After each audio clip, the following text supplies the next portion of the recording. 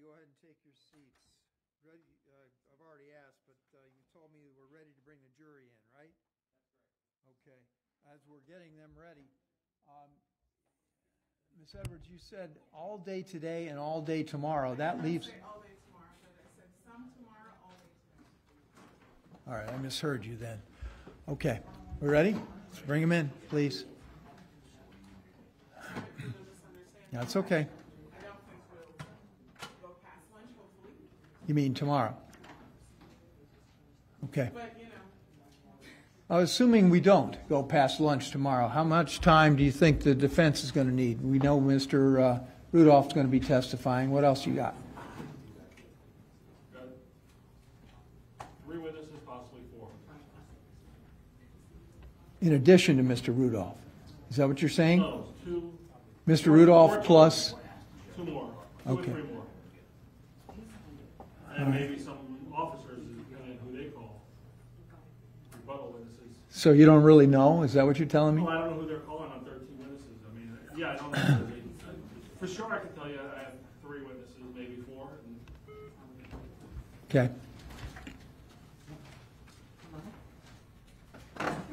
We have to push this trial, folks. We've got to move it. Jury entering.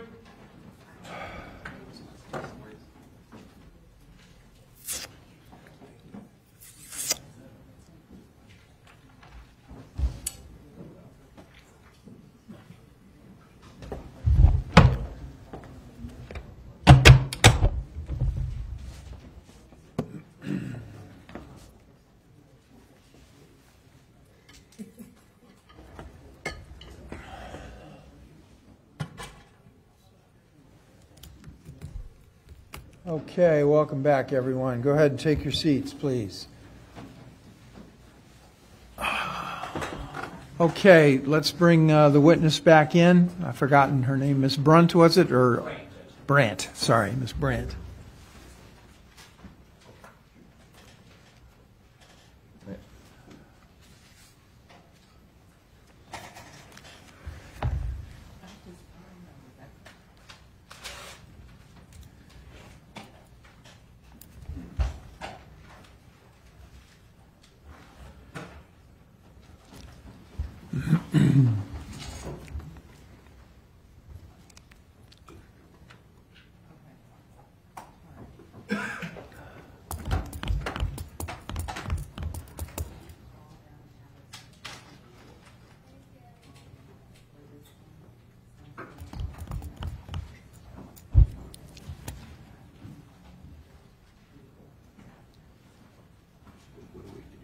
There she comes.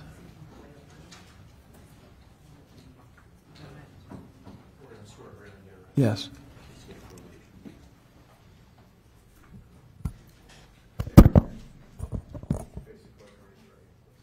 do you solemnly swear or affirm that the evidence you're about to give will be the truth, the whole truth, and nothing but the truth?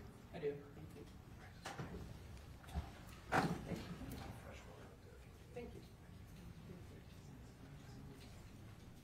All right, you may continue on direct examination. Thank you very much, Your Honor. Yes, sir. Good morning. CSI Brandt, how are you? Good. Good. All right. Where we left off yesterday were various photos uh, that you took at that first scene that you responded to at 4015. Do you recall that? Yes. Now, do you recall when we were speaking about copper fragments that you located throughout the vehicle? Yes.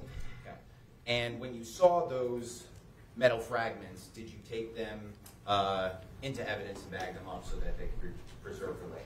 Yes. Would you be able to recognize uh, the evidence bags that you put those in if I showed them to you? Yes. Judge, permission to approach? You may. It's going to be states 15 and 16. Good? no, no objection, Judge. Thank you. I remember you said that yesterday, to basically everything on the table, right?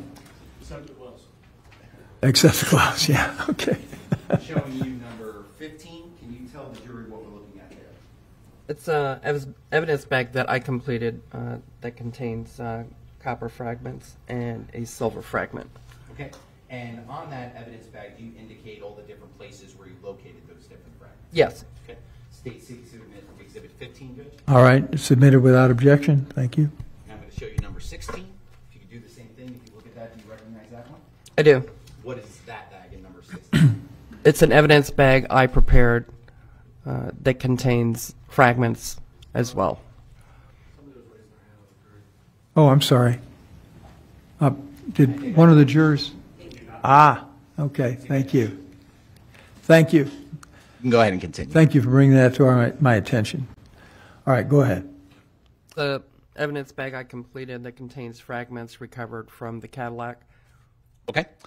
Um, Judge State seeks to admit Exhibit 16. It's admitted without objection. Very much.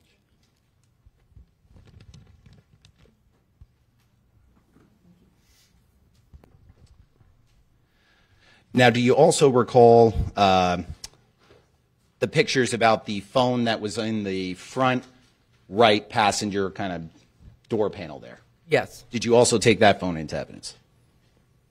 I did. It went back and forth from me to Herzog to Vanderlun and then back to me, but ultimately I placed it into evidence. Okay. And would you recognize that if I showed it to you? Yes. May I approach with States may. 26?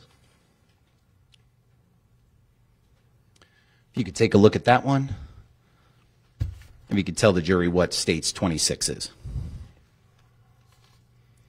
It's the evidence bag that I prepared that contains the cell phone from the door panel pocket in the right front passenger quadrant of the Cadillac. Okay, great. State seeks to admit States 26. Admitted without objection.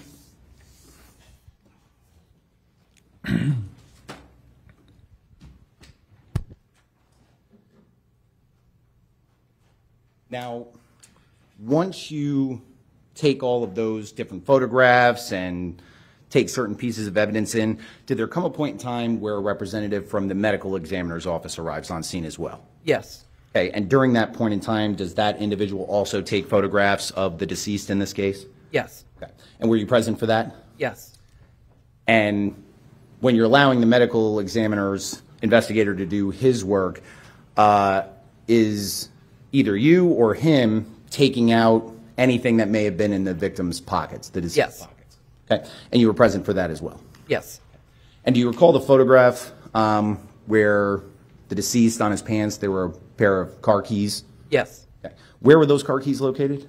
In his right front pants pocket. Okay. And did you take those keys into evidence as well? I did. Okay. Permission to approach judge? You may.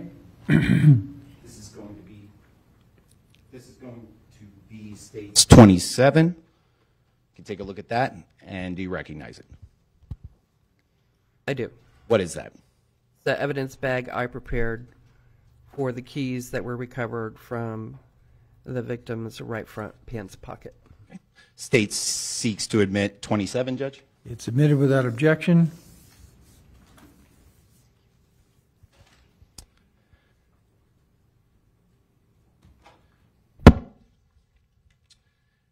And as I stated, uh, does the medical examiner's investigator also take photographs separately from all the photographs you take? Yes. Okay. Permission to approach with states 28, Judge? You may. This is going to be a composited exhibit A through F. Thank you. If you could take a look at these right here. Start with that top one. Do you recognize that? Can you tell the jury what that photograph is? That's the dorsal side or the top side of the victim's right hand. Okay. And is this photograph taken once he's removed from the vehicle and prepared basically for the medical examiner to start doing their work? Yes. Okay. And so underneath underneath the deceased on this, what's underneath him? Uh, the body bag. Okay. And then a white sheet. Okay. If you could turn to B. What are we looking at here? This is the palmar side of the victim's right hand. Okay. If you could turn to C. What are we looking at there? This is the decedent's right hand in a bag. Okay. What's the purpose of the bag? That's to um, maintain any trace evidence that might be present, because in the post mortem process, uh, the autopsy process, there are nail clippings taken by the medical staff at the ME. So any evidence that may be derivative from that is captured in this bag and not lost from banging around in the bag. Got it. If you could turn to D. Now, what are we looking at in D? This is the dorsal side of the victim's right hand. Is this his right hand or his left hand? Sorry. No, it's a little disorienting. sorry, left hand. Okay. If you go to E, what are we looking at here? This is the palmar side of the victim's left hand. Okay.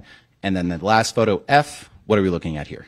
And this is a photo of the victim's left hand with the bag having been placed over it. For the same purposes we discussed before. Yes. Okay. Judge, at this point, state would seek to admit 28A through F. Admitted without objection.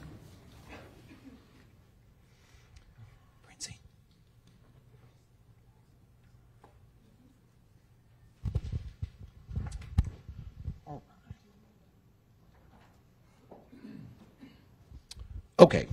Now, in terms of the Cadillac, where does the Cadillac go from the scene at 40 4015 Broadway?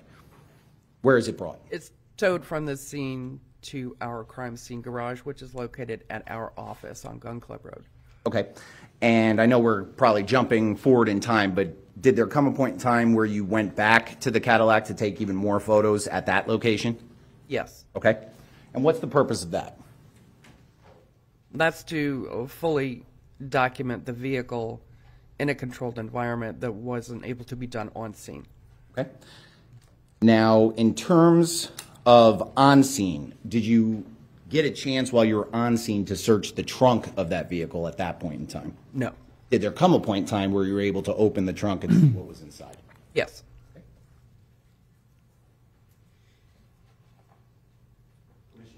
You may. This is going to be states 39A through U. And I'm going to publish these up there. You can just grab those quick.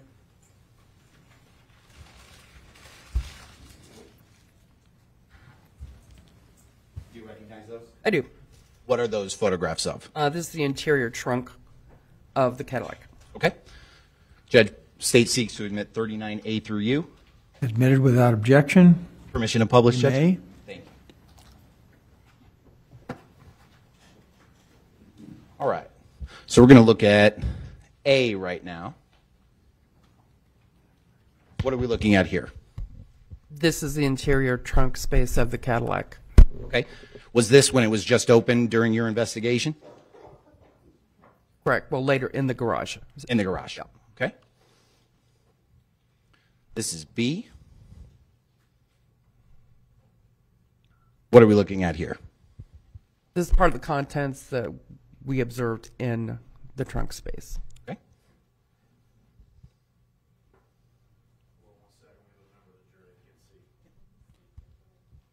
Here's better.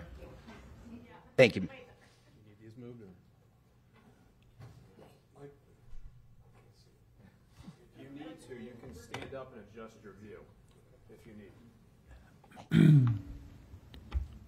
All right. Like I said, this is letter C. What are we looking at here? This is an overall view of the contents of the trunk. Some items were removed um, after the initial photograph was taken to show what was underneath some top items.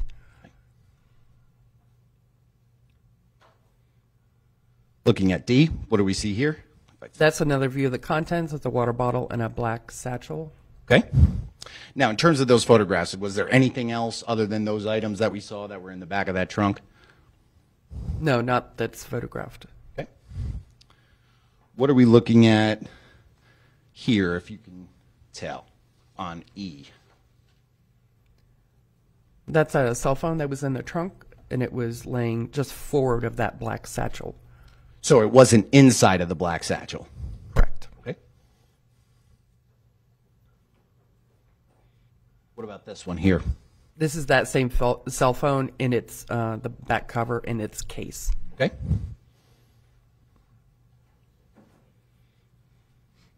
Same thing here we're looking at? Same cell phone, but uh, the back of it uh, with the case removed. Got it. And that one was G.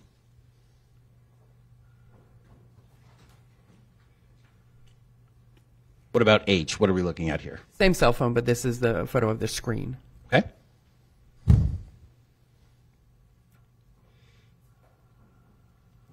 I. What are we looking at here? Same cell phone, removed from its case, and the case laying next to it. Okay.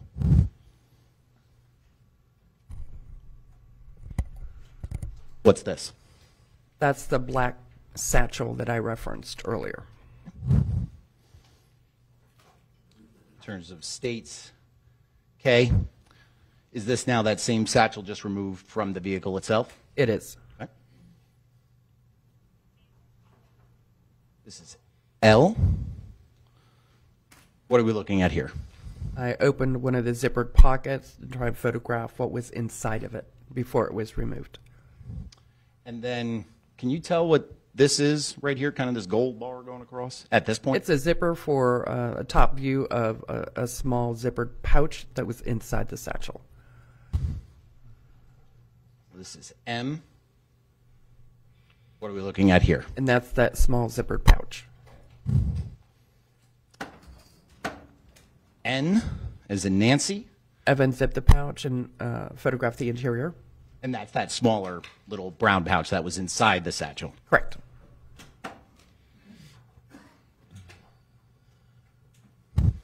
What are we looking at here?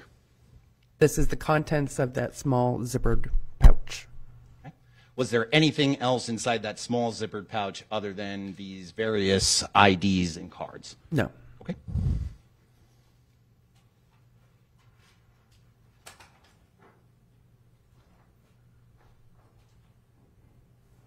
What are we looking at in this photo here? And this is the, the large main compartment of that black satchel. I unzipped it and photographed the interior.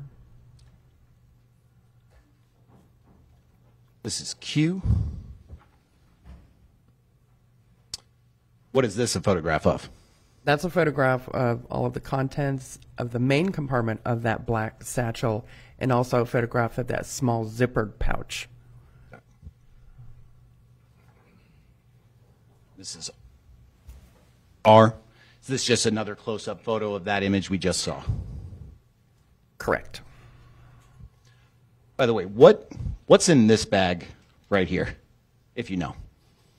Well, not forensically tested, but it appeared to be tobacco leaves.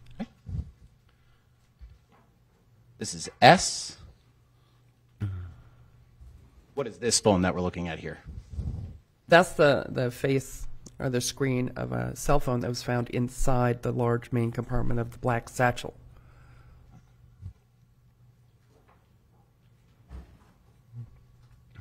What are we looking at in this one? That same cell phone in its case, but the back of it. Then the last one for this exhibit. What are we looking at here? The same cell phone, its back cover, and also next to the case that has been removed.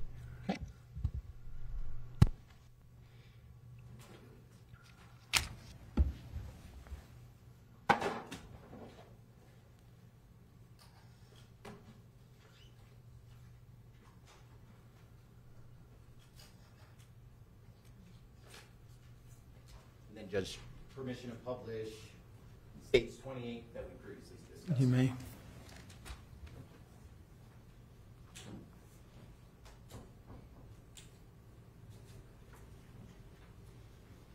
All right, so this was twenty-eight A.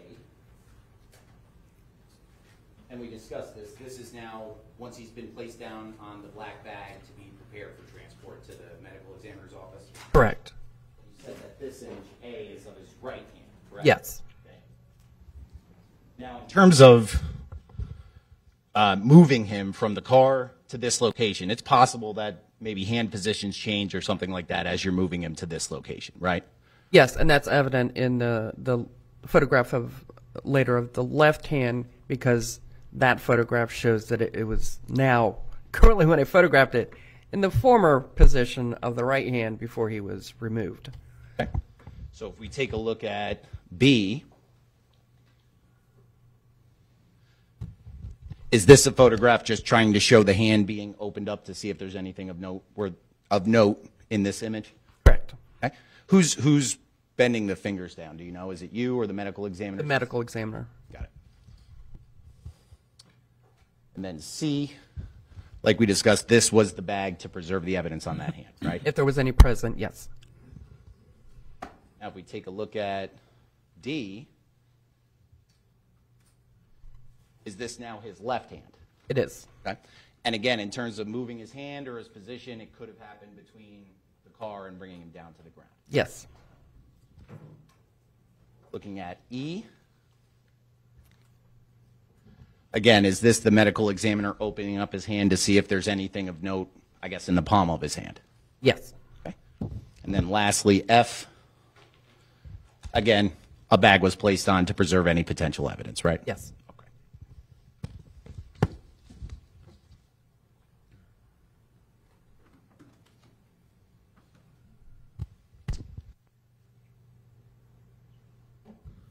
Okay. So I know we jumped ahead in time to when you searched the back of the car when it's back at the crime scene, but now let's go back. We're at 4015 Broadway. Where's your next assignment? Where do you go? I respond to CSI Ali's location, which is near the suspect's residence, as she was working a scene there to see if I could assist her before I went to the Teak address. Okay. And do you recall what time you were done at the first location, 4015 Broadway? I believe it was. I arrived at the Teak location at 5:47, so spent about a half hour. 5:17 is when I arrived at the second location. Okay. And when you get there, are there already uh, PBSO officers there? Yes. Okay. Is crime scene tape set up around the area? Yes. Okay. And you said that CSI Ali was already there, starting to do some crime scene investigation work? Right. She was at the secondary scene uh, where casings had been located and uh, blood-like stains, and I assisted with swabbing some stains for her. Okay. And when you arrive on that scene, are photographs also taken of the exterior of 550 Teak as well as the road where the casings were found? Well, that would be my third scene. My secondary scene was Redwood with CSI Ali. I didn't take any photographs there because that was her scene and she already photographed the area. I just swabbed areas of blood-like stains for her. Then I went to the teak address, and yes, exterior photographs were taken. Okay. And although uh, CSI Ali took photographs down on uh, the Redwood Drive where the casings were found, are you familiar with what that scene looked like when you arrived? I am the roadway and where the stains were that I swabbed, uh, but she had pretty much wrap, was wrapping up collecting her casings and her stanchions. Okay. And did you see the stanchions all placed in the road? Or the blood-like stains. She was done collecting uh, her firearms evidence. Got it. So in terms of when you get to that location, do you you go to where the blood-like stains are first? Yes, I meet with her and she points them out to me. And at that point, you stated that uh, there were stanchions, I guess you called them. Yes. Uh, do you recall how many stanchions were on the ground in terms of the casings by the time you got there? Casings, I believe, had already been picked up, but stanchions remained for the blood-like stains that I was going to be swabbing, and there were six. Okay.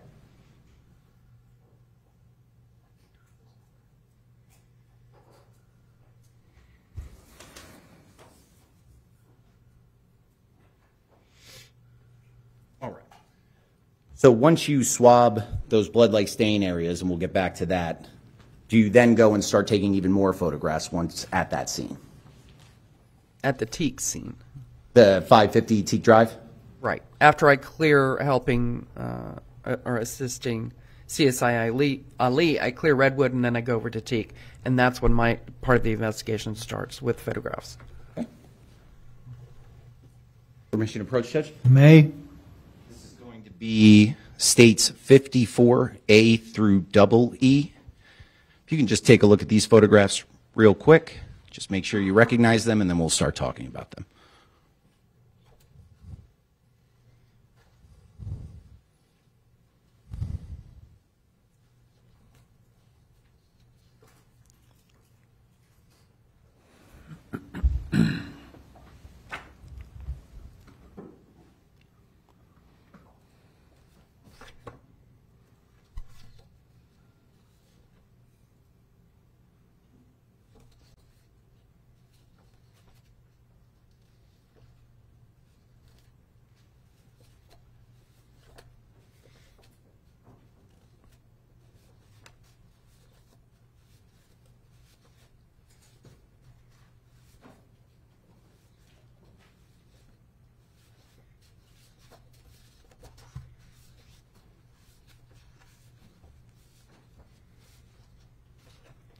Okay, I remember I recognized some of them because I took them. Okay. Uh, beginning with F and continuing to the end of the photographs um, are CSI Ali's. Okay. So starting with number F, I guess? Yes. Okay. Judge State seeks to admit, I believe there's no objection at this point. We'll admit all of them and have her talk about wh- the one she knows. So I understand that to be the case. Admitted without objection. All right, so we'll start out with A.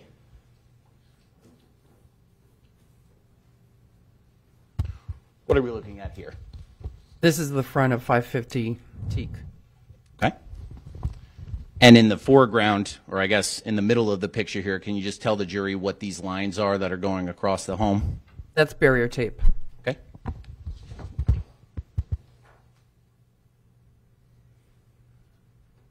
What about B? It's the same, but it's more uh, to the southwest. Okay. What is this road kind of going along the right side of the photograph, if you know? That's Redwood. This is state C. Over a little bit. What are we looking at here? This is the exterior uh, west side of 550 Teak. Okay. So what road is this side of the house facing? Redwood. Okay. States D. What are we looking at here? Uh, just some cameras that were attached to the west face of that residence.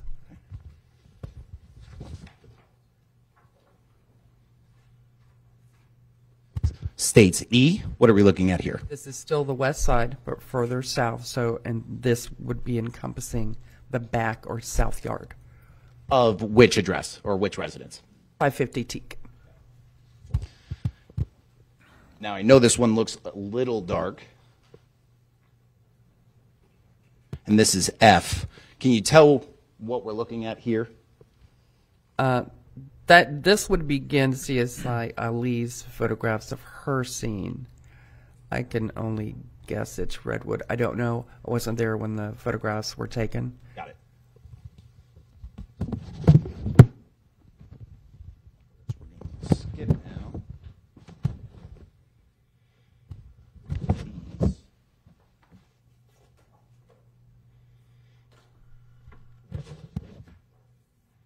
Is states S as in Sam. Okay. What are we looking at here? Again, CSI Ali's photograph and her scene. I wasn't there. I didn't view that when I was there on the scene. I was there to swab the blood-like stains. Do you So recall yellow what? markers, I know, because we all use the same. They are stanchions that mark evidence. Got it.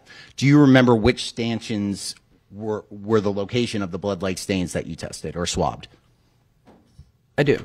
Could you tell the jury how many of them there were? I swabbed six stains uh, on Redwood Drive. All of them on Redwood Drive at various um, addresses. The first one at 586, the next at 580, three more at 580 but on the sidewalk, and the last at 574. And those were marked by stanchions 40 through 45. Got it. So in terms of this photograph here, and I know it might be difficult to see, is this number 40, stanchion number 40? I can't see it from Bring it up. And again, this is states S. Yes, 40 and 41 in the background. Got it.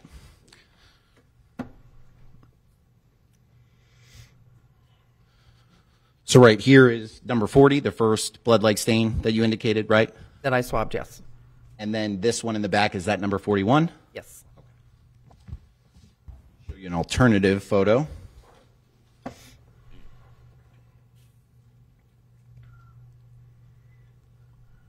Now, is this just getting closer now to stanchion 41, 42, and 43? Yes.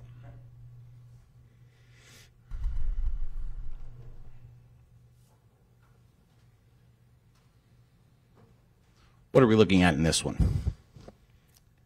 That's a close up of stanchion 40 and the blood like stain. Okay. Is that the blood-like stain you're referring to? It is. Now, why do you take a photograph, I guess, like this? That's part of our protocol. We do overall, mid range, and then close up so that we know that 40, there's no other background noise, and you can concentrate on your marker and the evidence itself. V is in Victor. What are we looking at here? This is a stanchion 41. Okay. And has blood like stains around stanchion 41, right? Yes, that's the area I swapped. Moving on to W.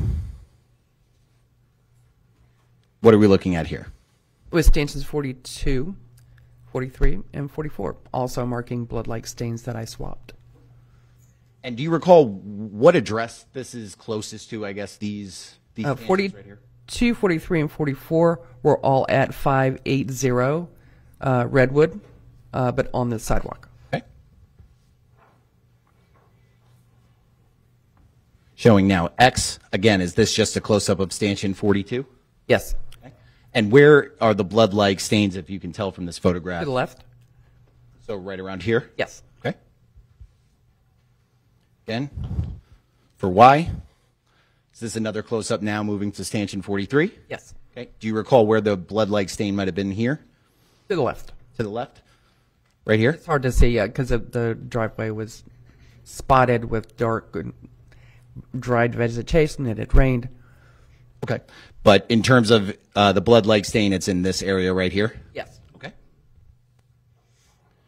Now looking at Z. What are we looking at here? Stanchion 44, Okay. marking Where, a blood like stain.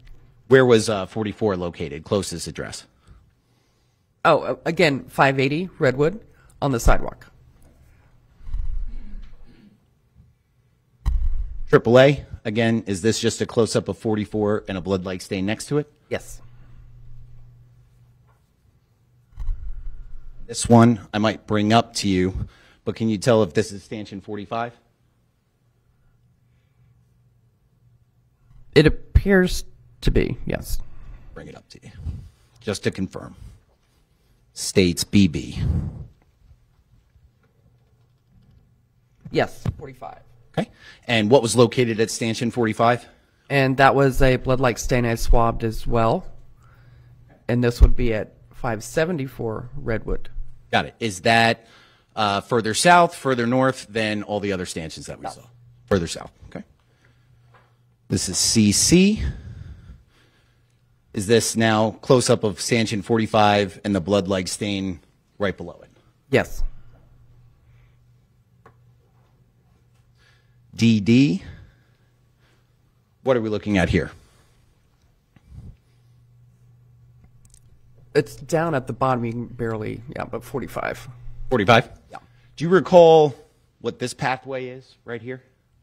It's a sidewalk, I believe. Yeah, west of this. It says on the from the driveway, west of the sidewalk. Got it. And then the last one in this set, double E.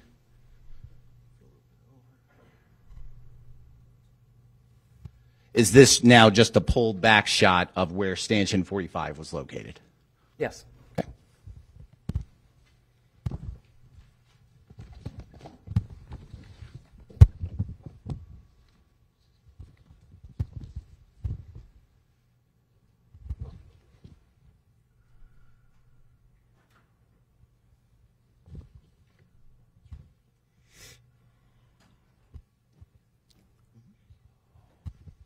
And then judge, just permission to retrieve, I believe it states one, 1A.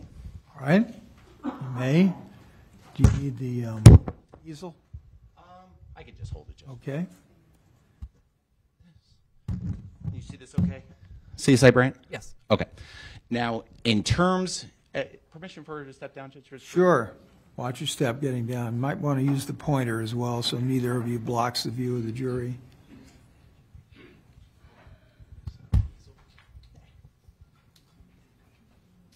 So this is states 1A. Are- Do you recognize this area? Okay. What, what is this area? Um, so I tell you what, move over there so one of you can use the standing microphone and CSI Brandt can use.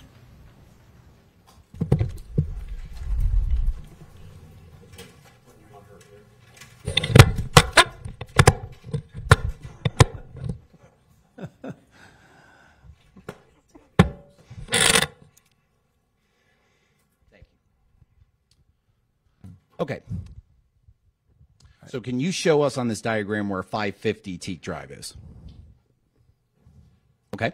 Now, in terms of, we're starting with stanchions 40 through 45. Can you show the jury where those stanchions were located? Between Sable Palm, on Redwood, so between Sable Palm and the curve. Okay. And in terms of that last photograph we saw with that sidewalk kind of going along, do you, can you point out where that is on this, this map? I cannot. Okay, but it, in, it, the stanchions 40 through 45 are basically near this intersection of Sable Palm Drive and North Redwood Drive? Yes. Okay. Thank you very much.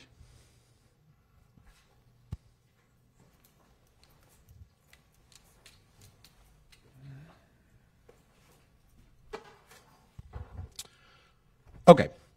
So after you're able to go down and work on those stanchions while Ali works on the shell casings, did there come a point in time where now you go to 550 Teak Drive and start taking pictures of the exterior of the residence? Yes.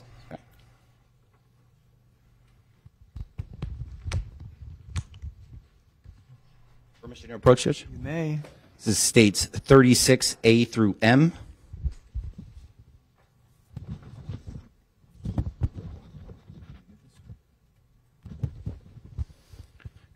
Take a look at those. Just let me know if you recognize them.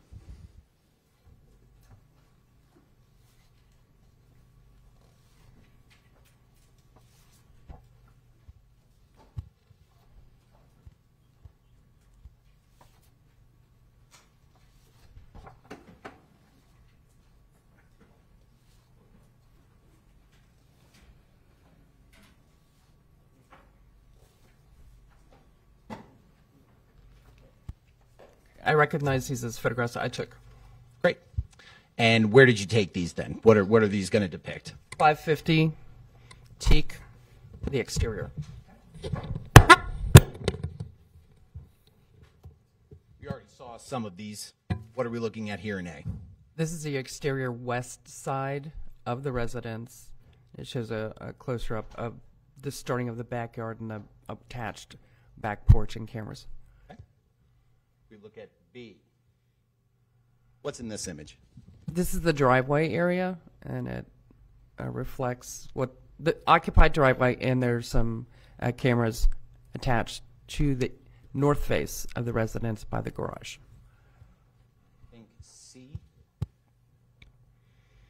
Is that what you're just talking about? Yes.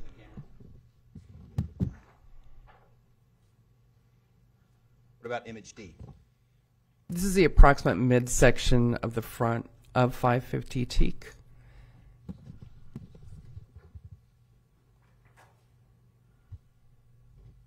Letter E, what are we looking at here?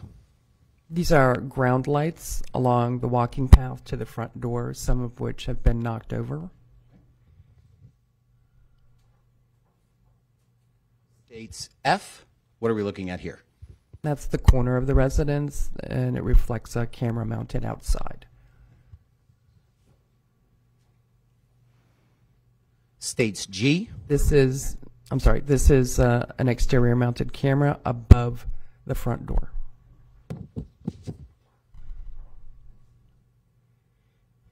States H, what are we looking at? This is the exterior north, north face of the residence, uh, further east section of the residence.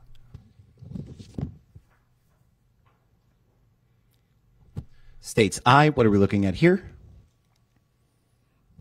Again, it's the approximate midsection of the north face of the residence. You can see the barrier tape, the ground cover lights, and a T-shirt laying on the ground. Now, I might as well, well, I'll finish these and we'll get to it. But in terms of that T-shirt that was found outside, did you collect that T-shirt as evidence as well? I did. Okay. States J, what are we looking at here? That's one of two vehicles that were parked in the eastbound lane uh, of Teak in front of the residence. Okay. States K, is this just a close-up of that same vehicle? Uh, this is the second vehicle. The first one was an Infiniti. This is a BMW. Then moving on to L. This, What do we see in this one? This is the front of that BMW. Okay. And then can you tell the jury what that is right there? It's an impact mark with uh, a large radiating fractures around the initial strike mark. Okay. It's in the front windshield, driver's side. Is there a difference between an impact mark and a, and a bullet, I guess, compared to the Cadillac that we saw? If, a, a bullet can cause an impact mark or a strike mark or a non-penetrating mark, and it can also be perforating, meaning it goes through and creates a hole. This is an impact mark. It did not go through. Got it. Do you know what caused that? Can you say what caused that damage to that vehicle? I don't know. It was present when I arrived, and that's why it was documented. Then the last one for this exhibit M as in Mary. What are we looking at here? That's the same BMW. It's just the passenger side of it. Okay. And then in terms of any other defects to that BMW, did you notice any other defects on that vehicle short of the windshield? No. Okay.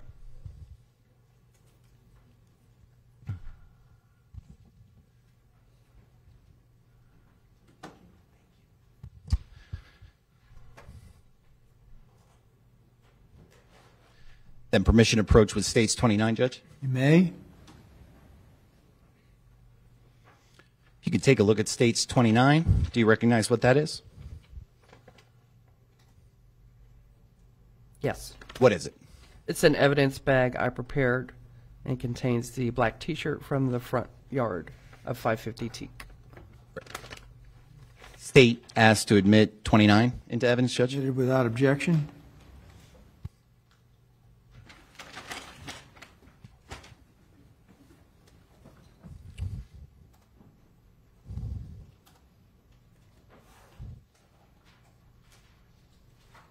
Okay. So once you take photos of the exterior, did there come a point in time where a search warrant was authorized for you to go inside of 550 Teak to also take photographs? Yes. Okay. And did you do so? Yes.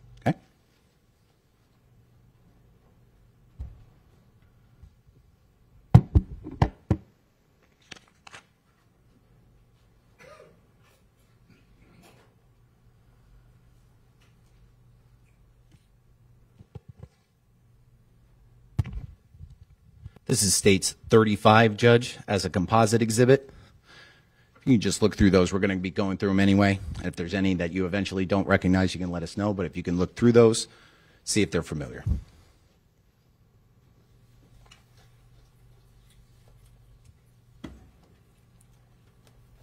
It's 35A through what?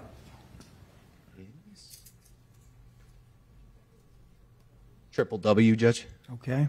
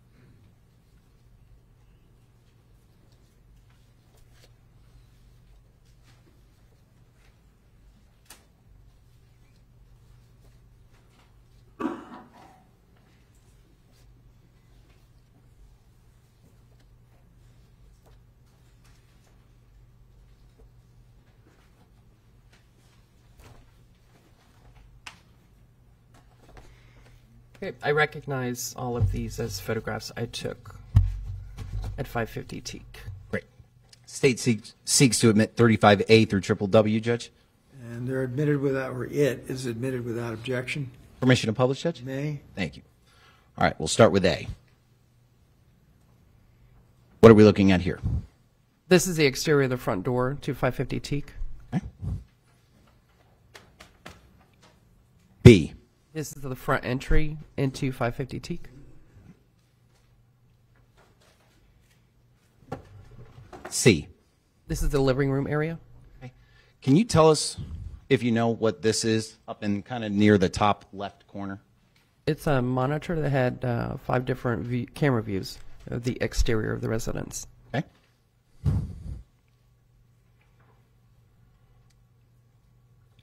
What are we looking here? This is what we've identified as the northwest bedroom, the brother's bedroom of the suspect. Uh, which brother, if you know? Or what was the name of the individual in that? I don't know.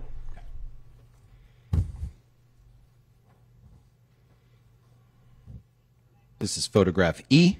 Is this that same bedroom? It is. Now, in terms of documenting the inside of the house, did you try to go into every room and just take photographs of anything that might be there in terms of evidentiary value to document it? Yes, do overall photographs of every room initially, and then go back and as we're searching through the rooms, um, focus again more photographs on evidentiary items.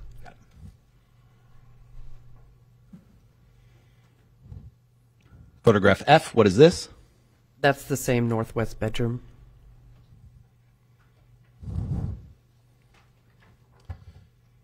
Now we'll move on to G.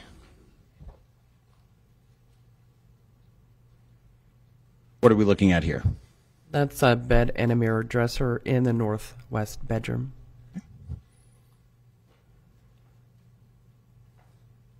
H, what are we looking at here? This is in the northwest bedroom, and it's a view from the entry door into that bedroom into the living room. Okay. So, in terms of out this door, this is kind of the center living room area of the home? Yes.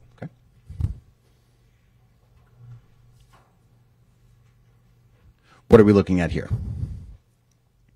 This is again uh, in the bed, the same bedroom, northwest bedroom. Now we're looking inside of the bedroom, I guess, from the living room area? Yes. Okay.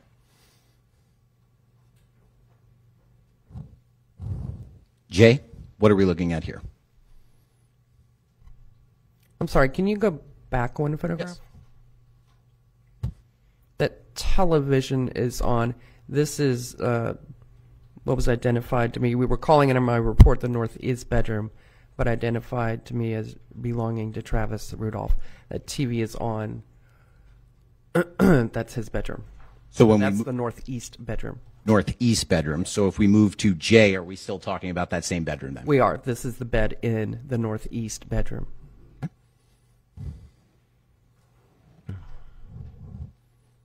K?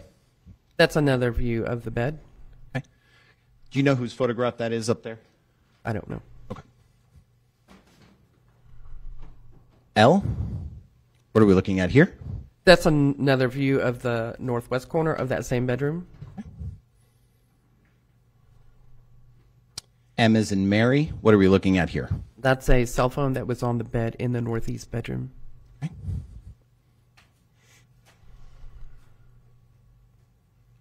O? Same cell phone, same bed, same bedroom, just a closer view. Excuse me, that was N is in Nancy. This is O. What are we looking at here? This is out in the living room. So there's an opening in the living room wall that leads to two other bedrooms and a bathroom. And this is above that opening. So that would be the southeast corner of the living room. And that's the monitor I spoke of earlier that has camera views on it, and behind which uh, is the DVR. P is in Peter.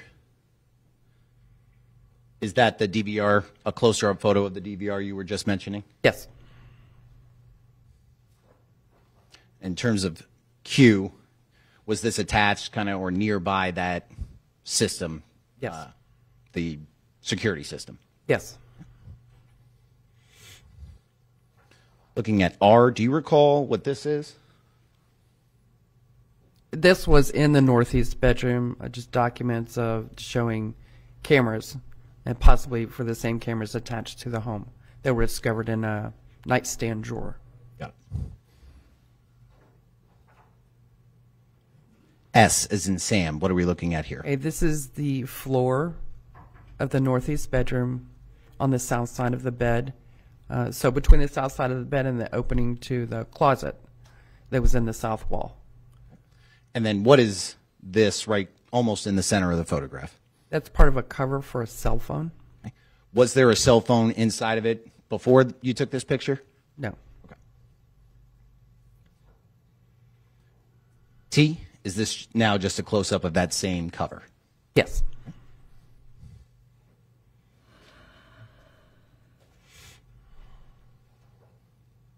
This is states U.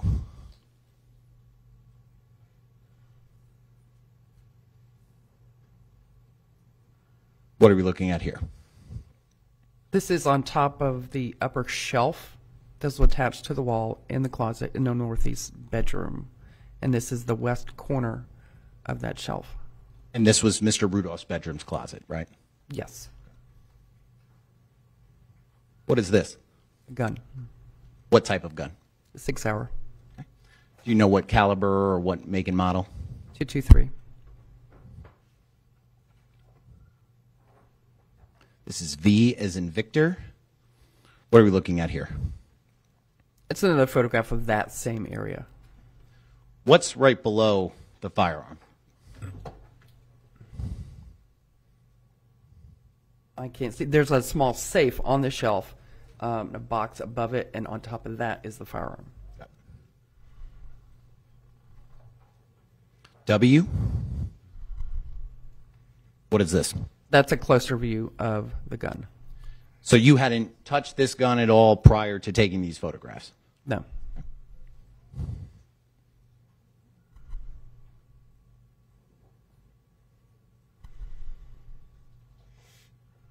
X. What are we looking at here?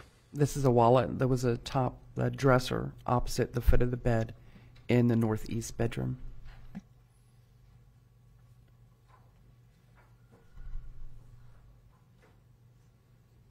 What are we looking at here? This is part of the contents of that wallet. Okay. That was states Y. Going to state Z.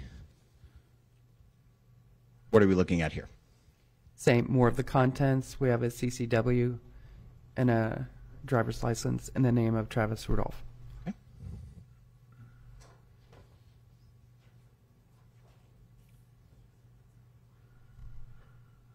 This is double A. What are we looking at here? That's atop the same dresser, but in a different area, and it's part of a front cover for a cell phone case. Okay.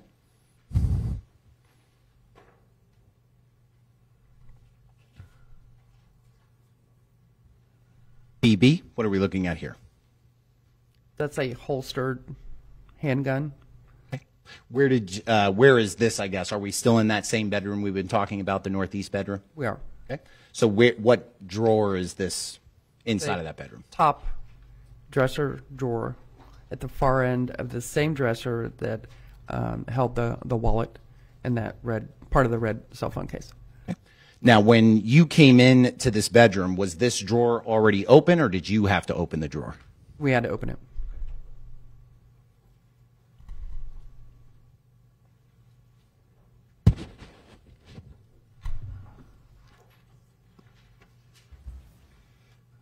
CC, what are we looking at here?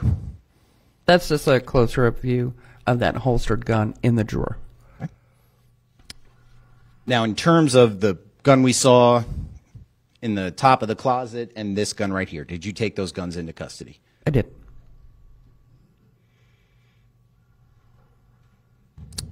DD, what are we looking at here? That's the Sig Sauer in a gun box after it was removed from the closet. EE, what are we looking at here?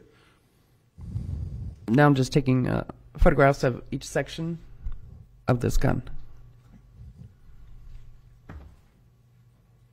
FF. This Is this just a close up of the trigger of that same gun? Right. In the grip. GG. This is the midsection of that same gun. Then HH. And this is the mu- muzzle end of that same gun. And in terms of II, is this just another backed up version? It's just the flip side of the gun. Flip the gun around to take another close, uh, further out view of that. Yes. JJ, what are we looking at there? This is the midsection on the flip side of that same gun, and it does show uh, some markings: Sig Sauer SIG M400, which is, would be the model. KK. What is this? Now I'm beginning to photograph that holstered gun that was in the dresser drawer. And where did you put it, I guess, to take this photograph? It's on the bed. LL? Is that the same gun? Yeah, just uh, turned over.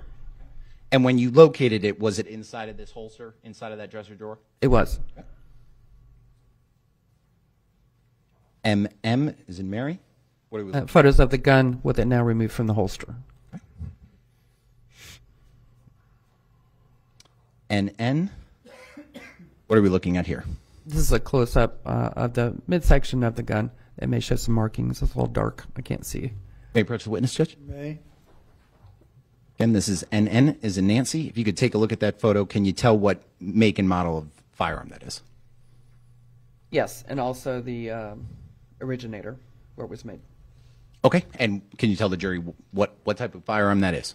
It's an FN Herstal, which is F is in Foxtrot and is in Nancy Herstal, H E R S T A L, and it's made in Belgium. Thank you.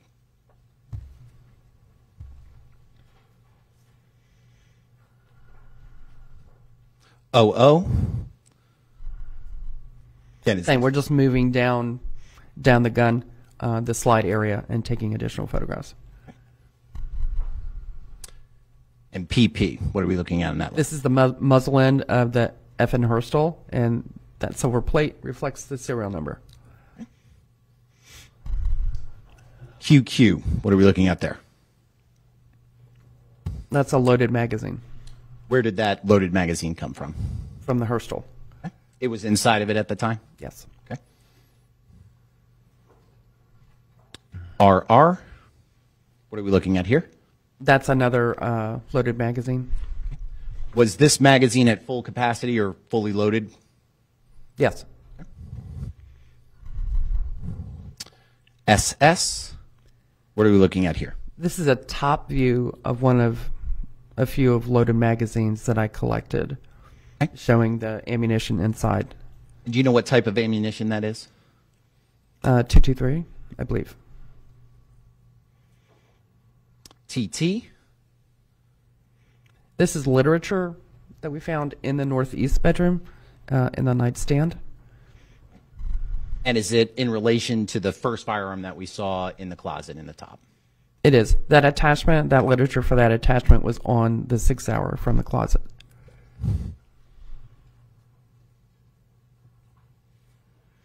UU.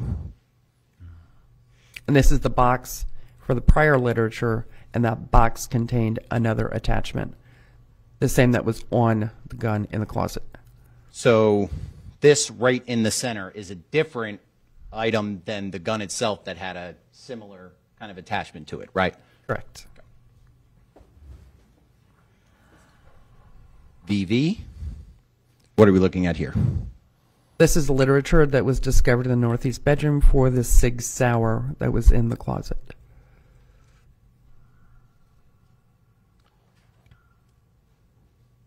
WW. What are we looking at here?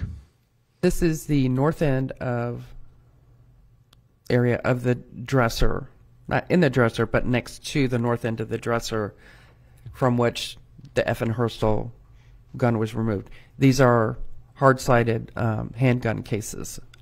And when you say these are, are you referring number one to this black container with the blue handles? Yes, and the one below. And then this one right here. Yes.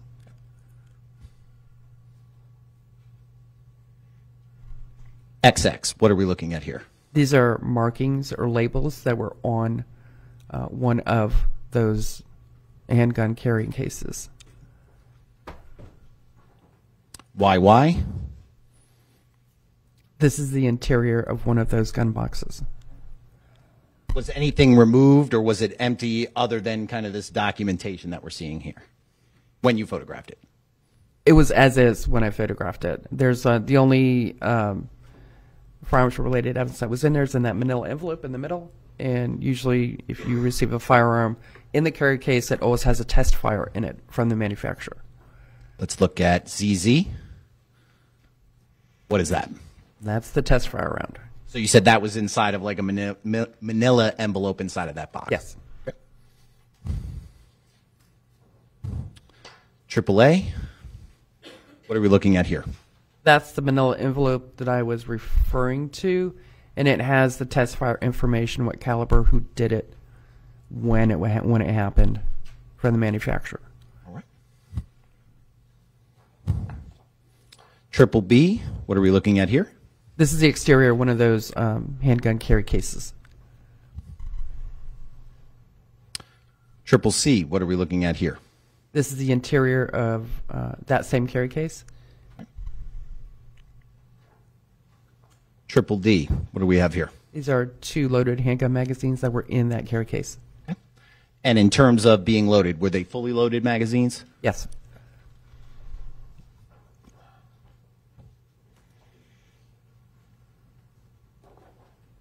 Now let's look at triple E. I can bring this up for you if necessary. Do you recognize this photograph? I do. What is depicted in this photograph? And that's the floor uh, on the west side of the bed in the northwest bedroom and part of a drum magazine that was located underneath the bed. So, in terms of this bedroom, is this what you confirm to be Travis Rudolph's bedroom or a different bedroom?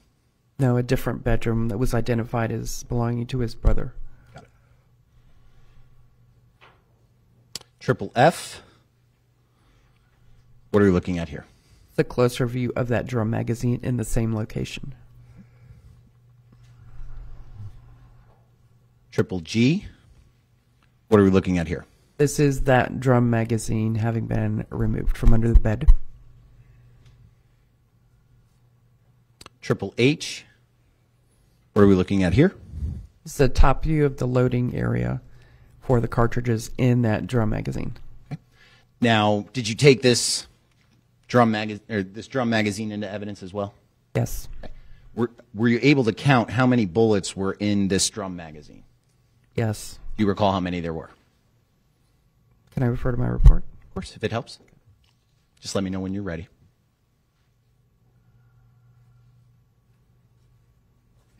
Uh, there were 61 remaining cartridges in the drum magazine. Triple I, is this just another angle of that drum magazine? Yes, it's just turned on its side, so this would actually be an underneath view. Triple J, what are we looking at here? These are the cartridges that were in the drum magazine.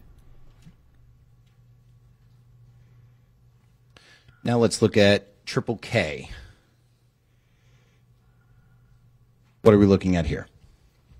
We're looking at a, a mirror dresser in the northwest bedroom where the drum magazine was found.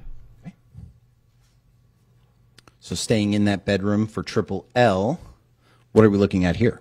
There are two cell phones that were atop the mirror dresser. Triple M.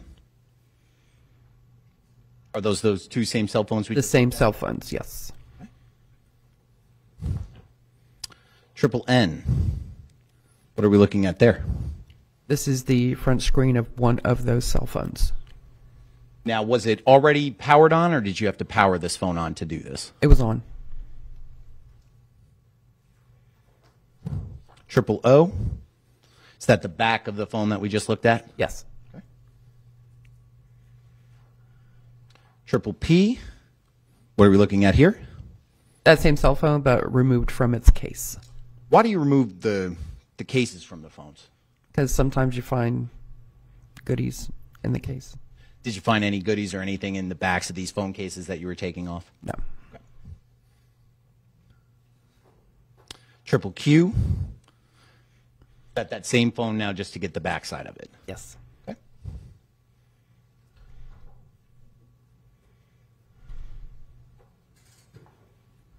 Triple R. What are we looking at here? Now we're going back to the uh, northeast bedroom, the bedroom of Travis Rudolph, and we're taking a photograph of the label that was on one of the hard-sided carry cases. Triple S. Is that the case? Another view of the case, a side view. Got it. And where was this located specifically in that bedroom? Do you recall? The northeast bedroom along the north end of the dresser that was against the west wall. Triple T. What are we looking at right here? That was found to be a uh, an ammo case case, if you want to call it. It's a, a big hard sided bin that had uh, hundreds of loose cartridges in it. Okay. Fired cartridges or unfired cartridges? No, intact bullets. Triple U. What are we looking at here? That was the label that was on that canister.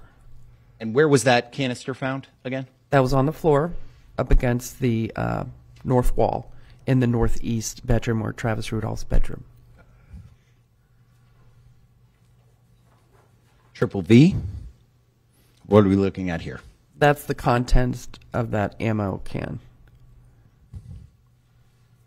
Then lastly, for triple W, what are we looking at right here?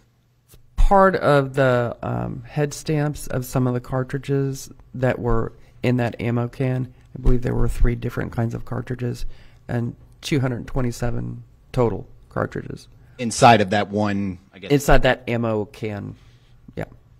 Thank you.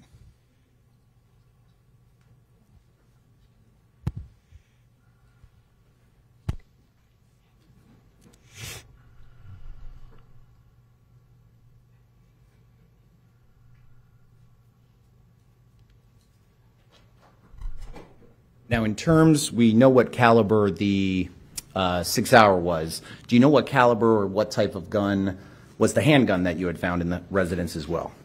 The Herstal was a 5.7 by 28 semi-auto pistol.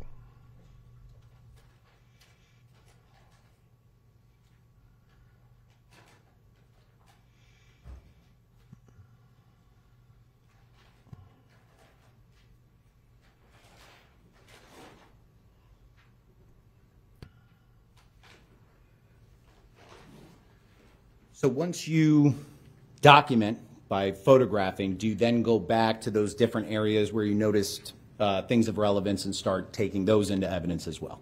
Yes. Permission to approach, Judge? May? First, I'll start off with States Exhibit 45. You can take a look at that one. What are we looking at for States 45? This is a evidence bag I prepared, the contents of which are pistol magazines that were recovered from the northeast bedroom. You want to take a look at number 46? Tell us if you recognize that. I do. What is that? Uh, it's also uh, evidence bag that I prepared for the uh, holster that the FN Herstal pistol from the dresser drawer was contained in. So you separated it out in terms of preserving it for evidence from the actual firearm itself. Yes, any firearms evidence, they just want the firearms. They don't want all the doodads that come with it. Got it. And then if you want to take a look at number 47, do you recognize that one? I do. What is that? The evidence bag that I uh, prepared uh, that contains the owner's manual for the Sig Sauer M400. Okay. This time, Judge State seeks to admit 45, 46, and 47 admitted without objection, all three.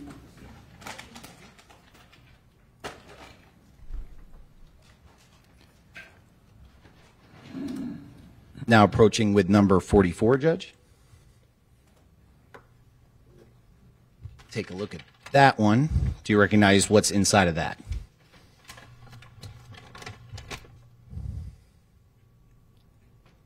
It's uh, evidence backup prepared for the Flambeau ammo can. And so is that the one that had, I think you said it, over 200 ammunition inside of it? That was found in the closet? 227 cartridges. Okay, thank you. State seeks to enter 44, Judge? Admitted without objection.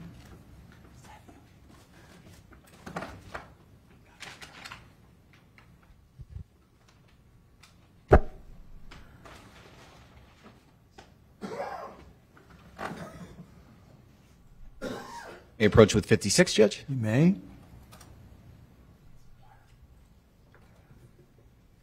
Take a look at number 56. Do you recognize what that is? I do. What is that? Uh, the con it's an evidence bag I prepared, the contents of which is the Apple iPhone uh, that was atop the bed in the northeast bedroom. Got it. And that would be Travis Rudolph's bedroom. Yes. State seeks to admit 56, Judge? Admitted without objection.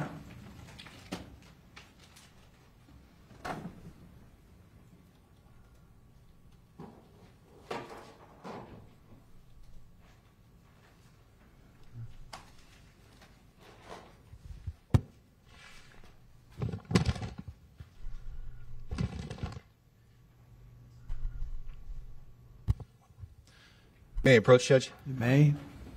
First, I'm going to show you States 48. What are we looking at for that evidence bag?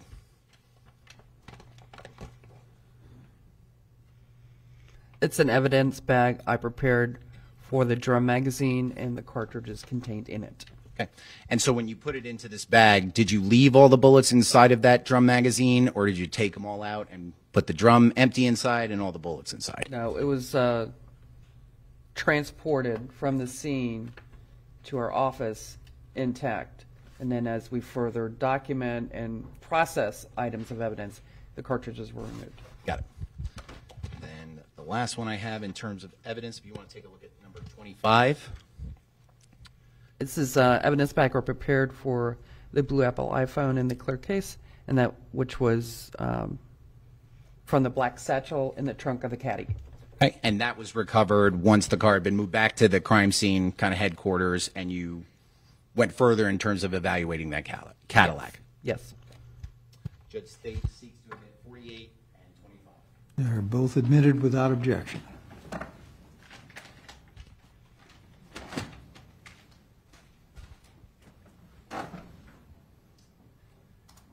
Now, in terms of the Cadillac, um, do you end up drawing any types of diagrams to show kind of where all the de- different defects of the vehicle, uh, where you located them? No. Okay. Does anybody draw a diagram sometimes in your field? Sometimes, if it's not as many as there were, there was just too much information to put in one one sheet of paper. Got it. So in terms of once you get the Cadillac back to kind of crime scene uh, headquarters, we'll call it, were you able to notate the total number of defects on the outside of that black Cadillac? Yes. How many were there? 30. And then in terms of defects on the inside of the vehicle, uh, how many were you able to count? 53. Now, is it possible that on the inside of the vehicle that multiple defects could have been caused by a singular bullet? Yes. So is that why we might have a difference between the number of shots on the outside of the car versus what's messed up on the inside of the car? Yes. If you have one bullet traveling through multiple surfaces of one particular area, it's going to be the same, basically the same defect. Okay. Just one moment, Your Honor. Yes, sir.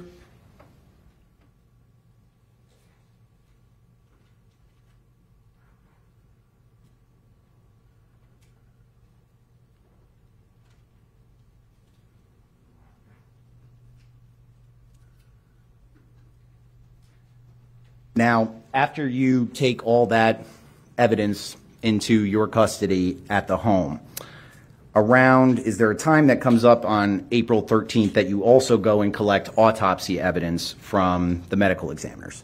Oh, it's it's brought to me and secured in our drawing room.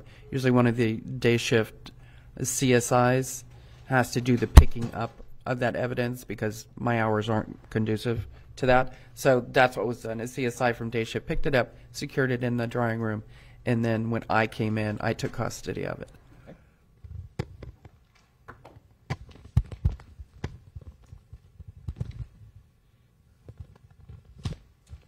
May I approach with 42 and 43, Judge? May? Take a look at number 42. Do you recognize that? I do. What is that? This is an evidence bag containing autopsy evidence, uh, sealed manila envelope containing, containing projectile debris fragments from the right back of the victim. And these came from Dr. Marlon Osborne in the medical examiner's office, right? Yes.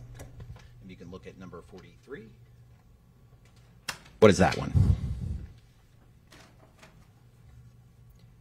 This is an evidence bag I prepared for additional uh, autopsy evidence received, and it's nine individual manila envelopes, all labeled with the victim's name and the location from which nine projectiles were removed from his body at autopsy. Okay. Thank you very much. State seeks to enter 42 and 43, Judge. They're admitted without objection.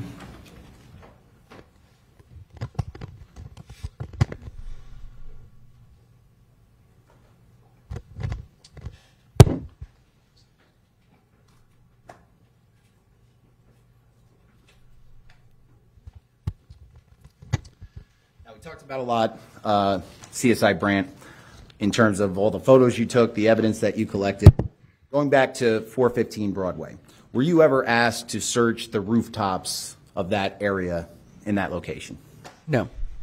Did you, I think we saw in the photos, there's a food truck kind of behind a chain link fence. Did you ever go behind that chain link fence to look for any firearms or anything like that? I did not. Were you ever requested to do so at that time? No. Okay. And then in terms of either alleyways nearby or sewer gutters, did you go digging in a sewer gutter to see if there were any firearms there? No, we I searched and we photographed what was available to us around the caddy, near the caddy, so that front lot of that property. And aside from, you know, the bullet defects in the vehicle and obviously a deceased person, did you have any indication from when you're looking in the car or around the car that there were firearms at that location? No.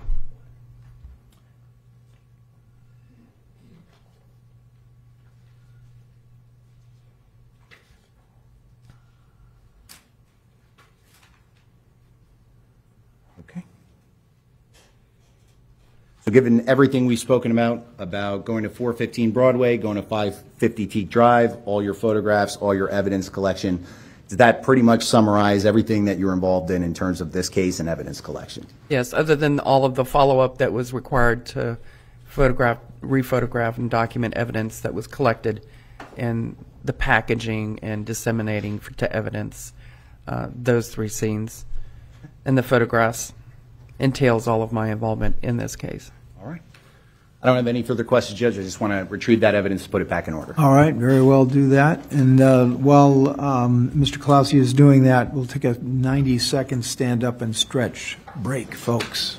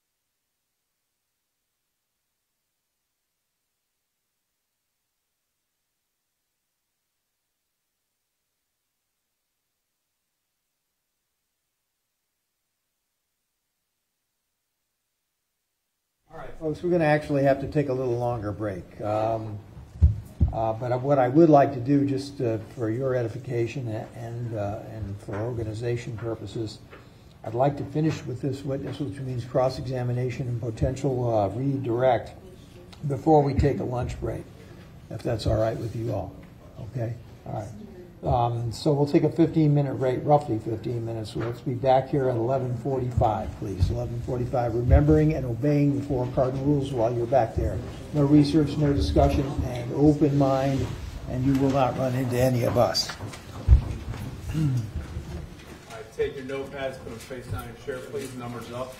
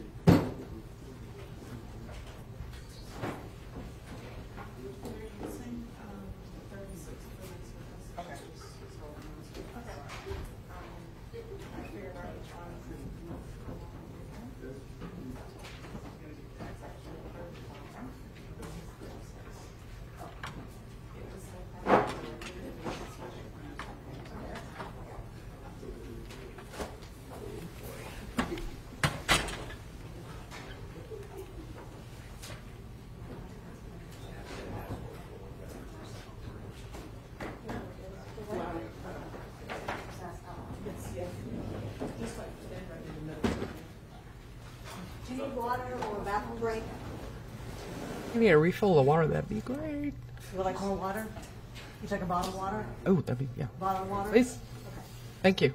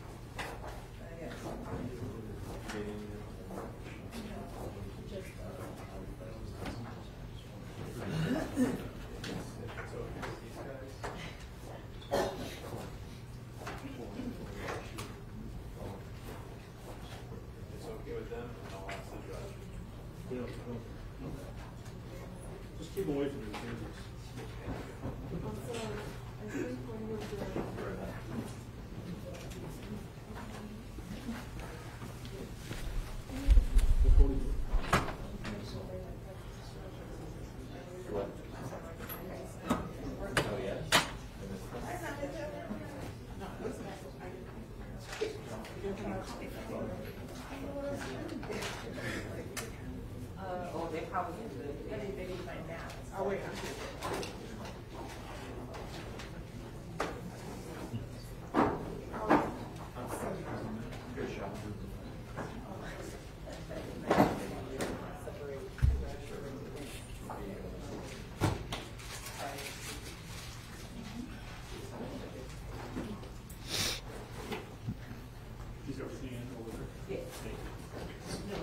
Well, is that what you wanted? Oh, here's me too. Uh, I need to ask you something.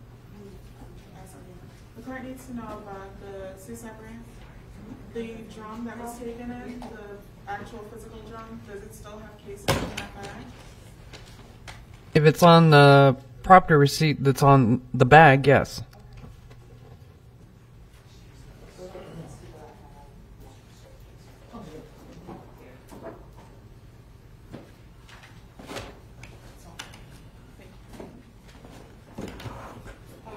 Well, what I was asking before you, because I know you categorize these as firearms evidence.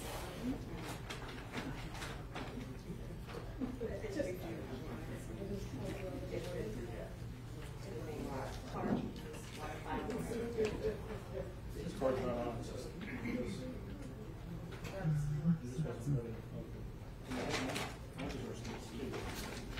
Yeah, but we staple ours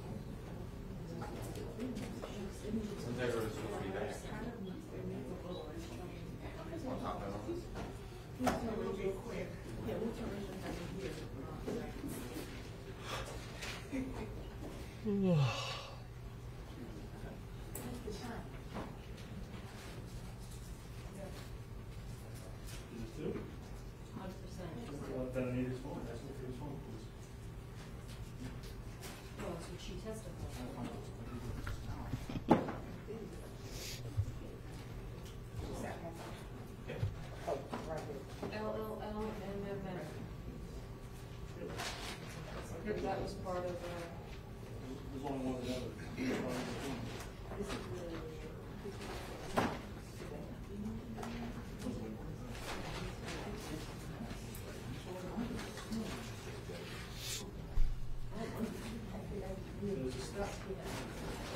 you're right. Some of them again still has for the next year. so That's not that one, that's not in there. Whatever you. This is the. Clerk has that. No, no. Or this is the one that's inside out. Fifty-four, A through W.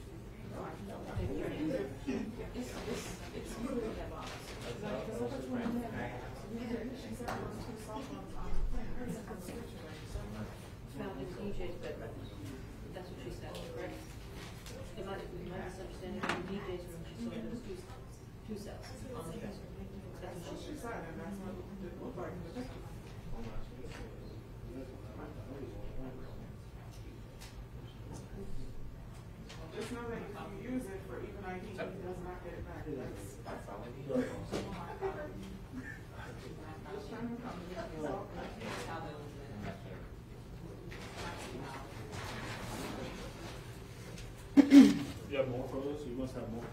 Oh, I got it. Right here, right here. Perfect.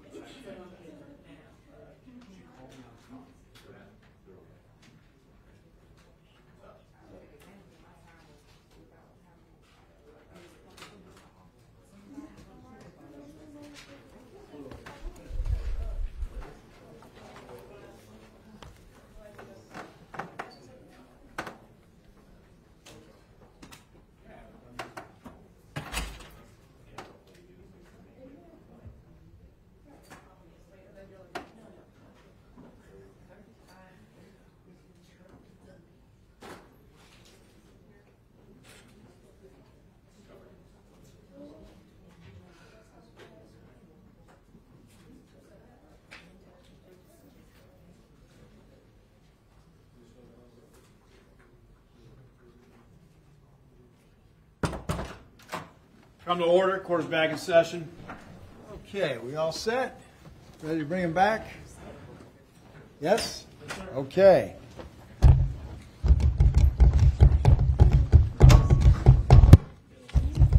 Just between the group of the parties, there's gonna be one last exhibit entered and then. history. Okay, all right. Judges, no, no, I have to be finished before lunch. It's not possible. Say again? I won't be finished before lunch. It's not possible, Judge. Yeah, you will. We're just going to wait and take a lunch break when you're done. Well, that's not fair, Judge. You're imposing unreasonable conditions on the defense. It's ten to twelve, and this is a, Who says we have to take a lunch break at 12? no, no problem. It's just unfair, Judge. Okay. Duly noted.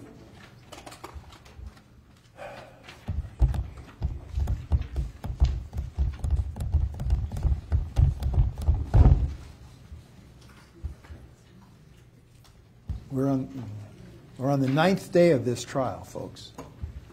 And as I've said umpteen times, I've got another murder trial that's supposed to start on Friday.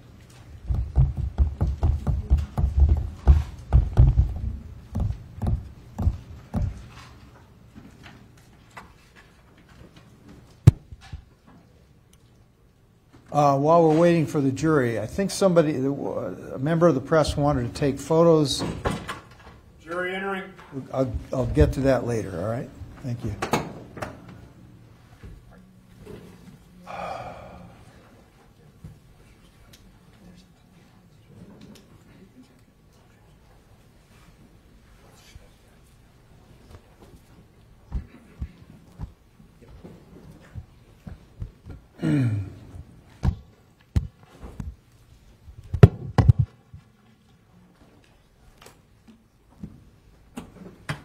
All right, welcome back, folks. Go ahead and take your seats.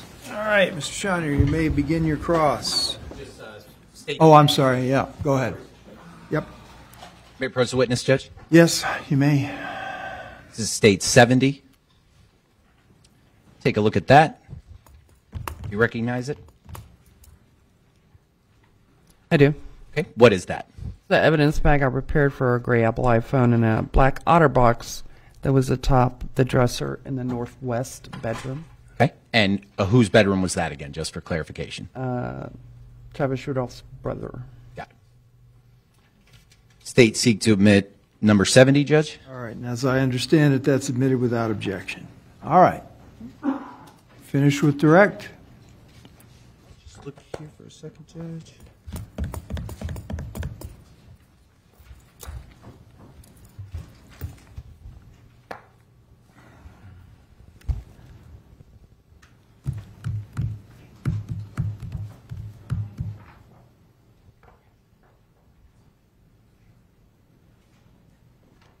Looking at.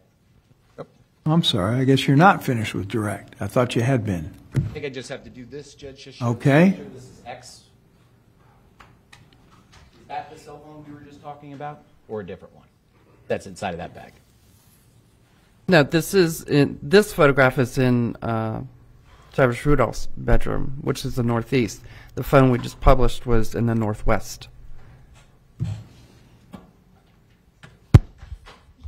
Triple A. What phone is that?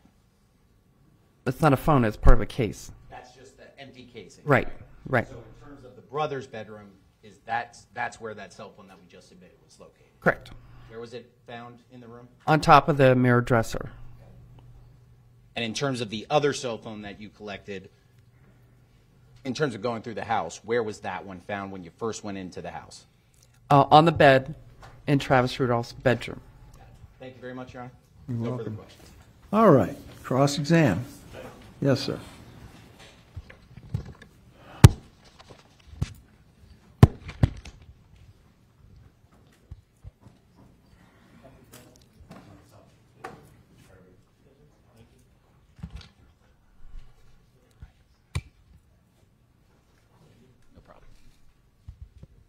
Morning, ma'am. Morning. You would agree as a crime scene investigator, you only get one chance to basically do it right, right? We only get one chance at a scene. Yes. Right, do it right. We only get one chance to photograph, document, collect. Once you leave the scene, uh, it could be contaminated, somebody could steal something, somebody could add something. So that's why you make sure you get everything while you're at the scene, uh, as much as humanly possible, right? And obviously, you've got a lot of experience, you've been doing this a long time, right? Yes. And um, you've probably been to hundreds of cases, or thousands probably in your career, right? Yes. All right. You're, you're, you're getting paid to be here, right? I'm sorry, what? You're getting paid to be here, right? Yes. All right, and uh, you work overtime, you get paid, right? Yes. If you come to a deposition, you also get paid by the sheriff. Yes. Uh, you weren't limited in, in your time to be uh, working on this case at all, were you? Nobody said you only have five hours, 50 hours, 1,000 hours. You had as many hours as you needed, right? Correct. And nobody pressured you to rush at any of the uh, crime scenes you worked on in this case? No. And you feel you had enough time at, to do your job, right? Yes. Okay.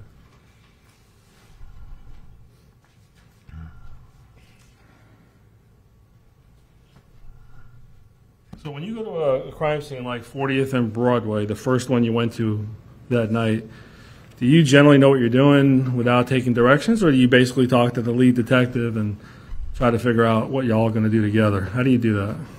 It's collaborative. I receive a briefing uh, from the detective or, or deputy who's on scene, and they let me know information on the particular scene or information known thus far. And then I take it from there, do a walk around, and then I start documenting. All right, and is that briefing uh, over, or can they give you information as it comes along during the during the day? It's not uncommon for them to add information as they gain more information and share it with me. Because then you might think other things that may not have been relevant could later on become relevant if you find additional information, right? It's possible, yes. Uh, so th- the first place you go in this case was 40th and Broadway, Yes. and you arrived there sometime in the middle of the night. Yes. And do you have any information that any of the West Palm Beach, uh, well, first of all, how many West Palm Beach police officers do you think were there when you were there? I don't know. I didn't count. Too many to count, probably, right? I'm sorry? Too many to count, like there was multiples? There were multiples, but not too many to count. I just, that's not something I do, is count how many heads are there. All right. Uh, did you ask anybody from West Palm to give you a hand? To give, You a hand? no, Yeah. How come you had enough uh, help? Not their scene. So any resources that I may have needed in addition to what was there would have come from the sheriff's office at my request. All right. There's how many employees do y'all have? a couple of thousand. I'm sure. All right. And sworn deputies, at least a thousand or more. I guess. Did you ask anyone to help you while you were at the scene? I had assistance from crime scene manager Brunson. Okay, and she's she's really experienced as well, right? Yes.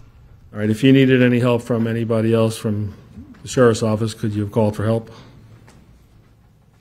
Yes. Okay. And do you guys have a mutual aid agreement between other county police agencies such as West Palm Beach? In other words, do y'all help each other if, if it's needed? Sure. Okay. So if you really needed West Palm, they could have helped you too, right? They wouldn't be my first go-to, but they would have. I'm, I'm sure if I'd asked, they would have made him, themselves available. Okay. And you were not limited in the amount of time you spent on 40th and Broadway, right? Correct.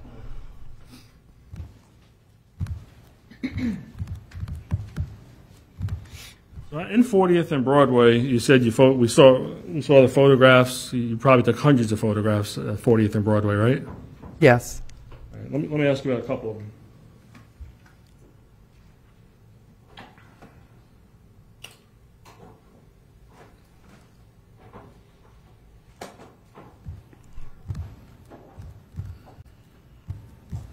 What's been uh, entered into evidence from the state. State Exhibit Number 12. I'll read you the letter that I'm putting up on the, on the screen.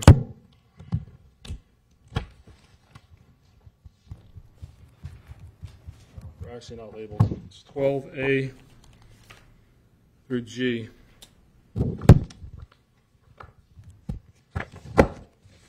None of them have designations. Tell you which one I'm putting up. I'm sorry. It's from Exhibit 12.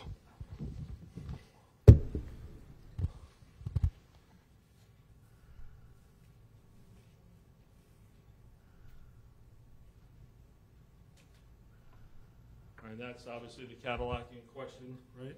Yes. Okay. And behind. Let me take the mic.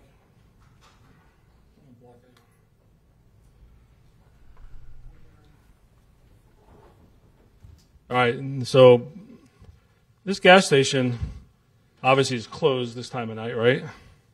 Yes. You don't know if there was a working gas station or automotive shop or if it was permanently closed. You don't know. Well, it's labeled as an automotive repair shop, and there were no gas pumps. The property itself just looked like it used to be a gas station. Okay. Do you know if it was open during the obviously not in the middle of the night, but during the daytime, or it was abandoned, or you don't know? I don't know.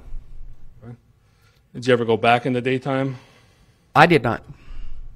So this area here, the fenced area, I don't know, was it your term that this was a, a mobile home? It looked to me like an RV. All right. Is it possible it's also a food truck, maybe? Anything's possible. Well, did you take? I don't know. Did you go inside the fenced area? I did not. Were you told by any of the police officers, the first responding officer, or any of your supervisors that night that the officer who found the two guys out of the car who were alive were silhouettes in the background in this area here? No. If you were told that, would you have possibly looked back here to see if they discarded anything? Yes, or at least gotten access to it so it could be searched and photographed. All right. And access meaning there's probably a lock on the gate? Yes. Y'all can cut locks with no problem, right? I mean, the Yes. police can do that. But you, you weren't given that information that there was possibly two silhouettes here not waving the police down. Did you hear that? That the officer who got there found it suspicious because the two surviving or living men were not waving anyone down? They, did you No. hear that? As at this point, that's true, sustained. Well, did you hear anything at all that the two men who were alive from this car were not waving a police officer down? No. From the police, I'm talking, not from the individuals, I'm talking from the police. No. Okay. So as, as you sit there today, you can't tell us if there's any casings back here, uh, behind the fence area, or on the roof of this truck or van or whatever it is, if there's any any cell phones back there, any guns back there from this particular case. You wouldn't know, right? Correct. Did you ever find out when you were at 550 Teak Drive later um, in the morning? I know you went there and you told us you, you helped CSI Alley. You picked up the six swabs and then you went to 550 Teak Drive, and we'll, we'll go through those photographs again.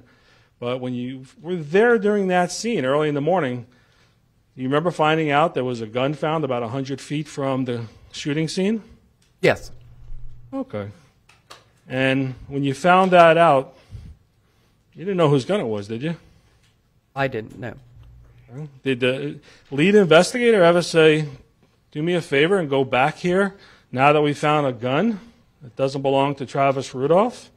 Go back here and check back here in this area? No. If you, if you were asked that by your supervisors, the detective, the, the lieutenants, whoever was there, would you have went back there and did that? Yes. So when you were there, you, you didn't have any indication there was anything that could have been discarded. Nobody, nobody told you, right? No. So all you did was focus in the lot area like you testified to. Yes. Okay? Do you remember if there was a fence on the other side of this uh, garage? I believe there was, yes. Let me see if I can find that picture. I don't know if it's here.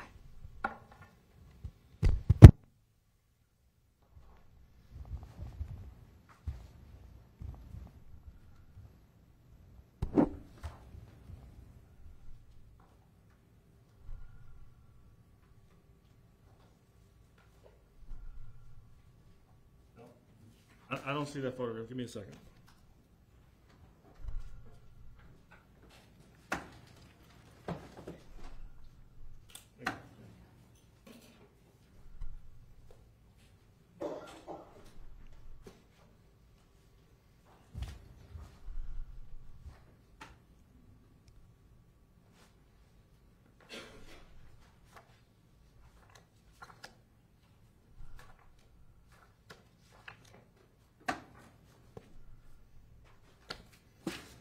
That photograph's not in evidence, but you, you do recall a similar type fence as we saw in that last photo, right? Yes. And obviously, uh, well, not obviously, you would agree you didn't go back and search that fence area either, did you? Correct. Okay. And you didn't go back later on to do it when a gun was discovered later that morning, right? No. And to your knowledge, if anyone from the sheriff's office would have went back to 40th and Broadway to search the roofs, the fenced area, would have been you, right? Not necessarily. It may have, depending on when it occurred. Okay. If someone had gone back there during day shift in the morning or in the afternoon, obviously I'm not working, so they would have asked another CSI if uh, evidence had been found to come and document and collect. So y'all have a 24 hour round the clock, someone's always on, on duty or in on call. Yes. All right. Do you have any knowledge if anyone from the sheriff's office went back to look in the fenced area that we just talked about? I do not. I'll show you some exhibits from states number 53 that's been entered into evidence.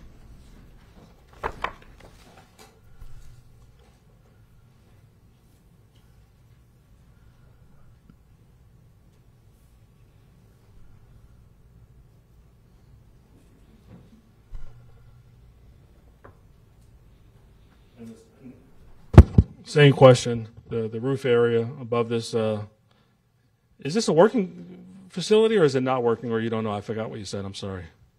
I don't know if it's vacant. It's it's labeled like it's a working business, but I don't know for a fact that it is. Okay.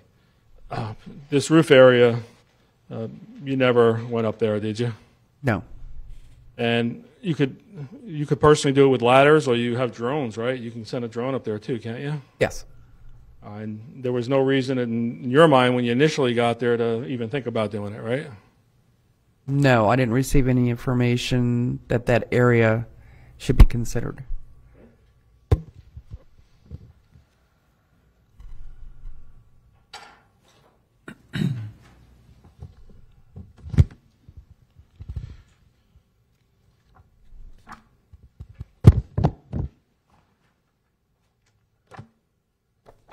I'll show you 53E.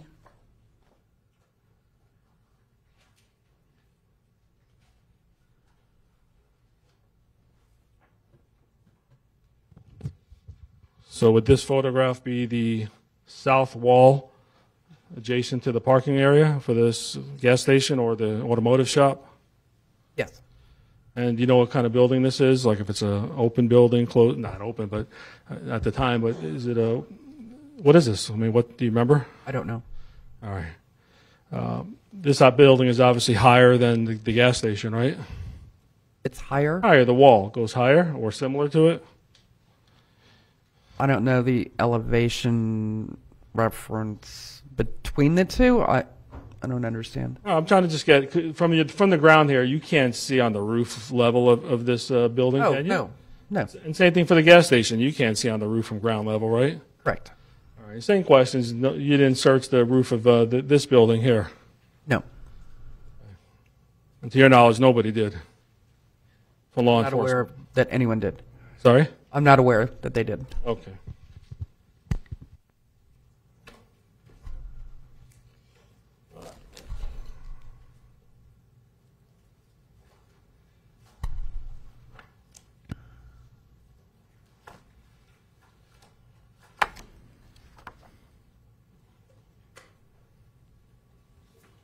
You're 53M.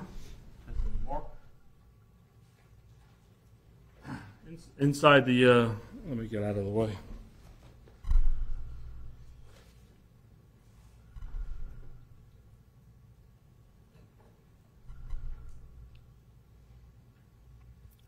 Inside the black Cadillac, the dash was still on, right? Yes. You know if anyone checked if there was a GPS um, put into this car? I didn't. I don't know if someone else did. Uh, y'all have people who can do that at the sheriff's office? I don't know if our fleet would take care of that or we'd call somebody else out. I don't know. And in terms of the uh, cell phones, you, you don't you don't know anything about it, or maybe you do. Do you know anything about any cell phones being checked if a, a GPS was plugged into somebody's phone on August, uh, uh, April seventh, rather of 2021? That information I, I wouldn't know about. All right.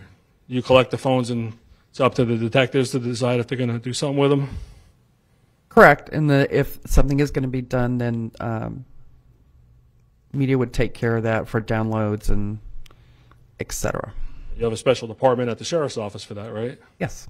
All right. You, you heard there was two guys that were in this Cadillac along with the decedent prior to the car coming to its final resting spot, right? Yes. Did anyone give you a phone from either one of the men who were in the parking lot that came out of this Cadillac? Did any law enforcement give you one of- a phone from either one of those people? No, I have one phone from the scene, but that was in the vehicle. Sure. So you have no knowledge if, do you know the names of the two men that were out? Do you- If, if I tell you the names, would it ring a bell possibly? One of them was Tyler Robinson. Okay. Yeah, He wasn't in the car. It was a guy named Keyshawn Jones. It was an injured party. Right, that was back up by Teak, a couple blocks away. Right. I'm talking coming out of the car, the two guys that were initially in the car was a man named Keyshawn Jones and Chris Lowe. Do you, do, do you know either one of them? No. Any contact with them in this case? I believe they were on scene when I was on scene, and I saw them conversing with Detective Vanderlyn, Okay. but I didn't have any direct contact with them. All right. Did Detective Vanderlyn give you a phone from either one of those men? No. And you also found two phones in the trunk of the car. Yes. And the phone in the pocket was next to the decedent in the door pocket, right? Yes. All right. Do you know that's Tyler Robinson's phone, or you wouldn't know that? I don't know who the owner of that phone is. All right, let me show you.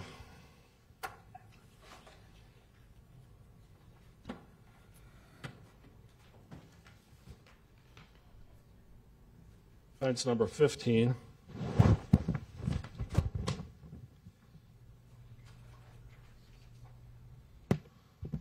It's been admitted admitted into evidence. Is that the phone you found in the door pocket? Yes. Is there any, did you find any kind of blood-like substance, human tissue, hair and fiber that may have been from someone who was shot? Anything like that on this phone? No, just uh, damage to the phone. And looked to you like it was ballistic damage based on where it was placed in the door? It's possible that it was based on the holes and the defects in the door. And wa- was it, was it consistent with the damage to the door pocket of the car getting struck while it was in the door pocket of the car? Yes. All right, and this was in, so I'm clear, this was in the passenger door right near the decedent. Yes. Okay.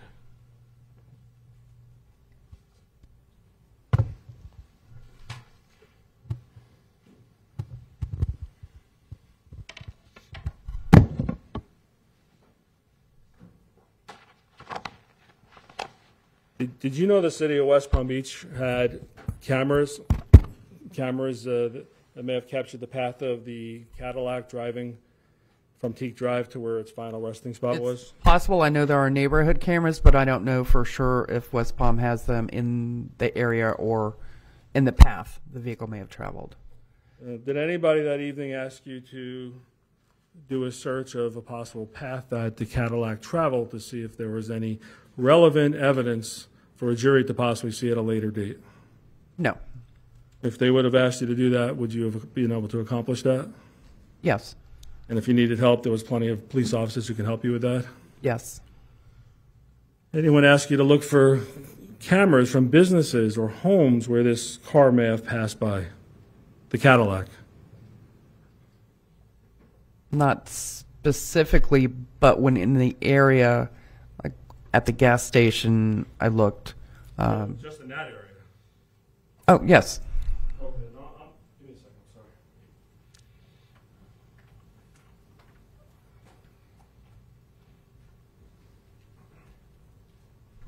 I'm talking the. You know from this case, from doing all the work you did, that the car came from Teak Drive in Lake Park, to 40th and Broadway to the that business that we just saw in the pictures, right? Yes. All right. Did you drive that area at any time to check for cameras or business cameras or house cameras to see if anything was captured on that related to this case? I did not.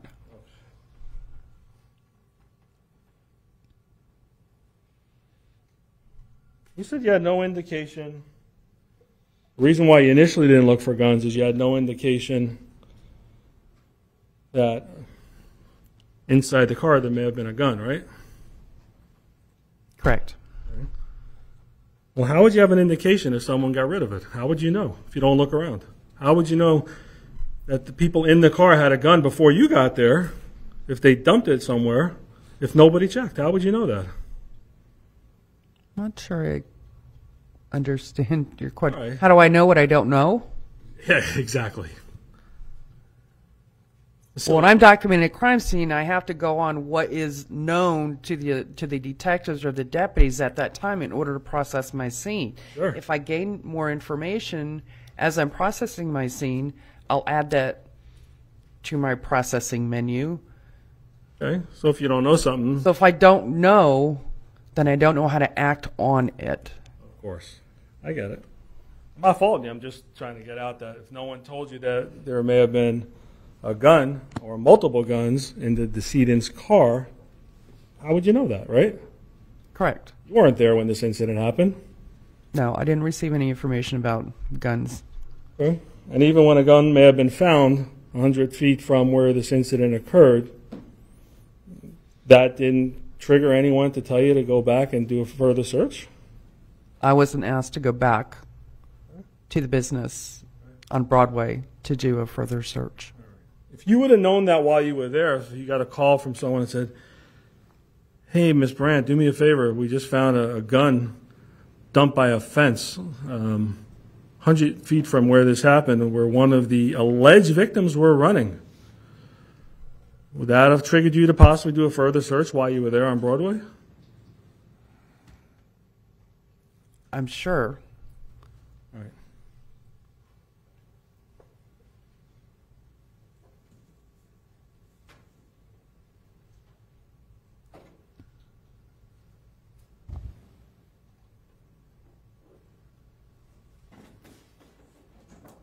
So, I'll show you defense number 11.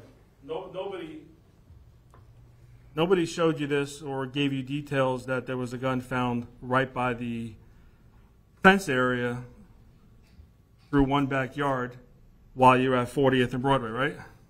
No.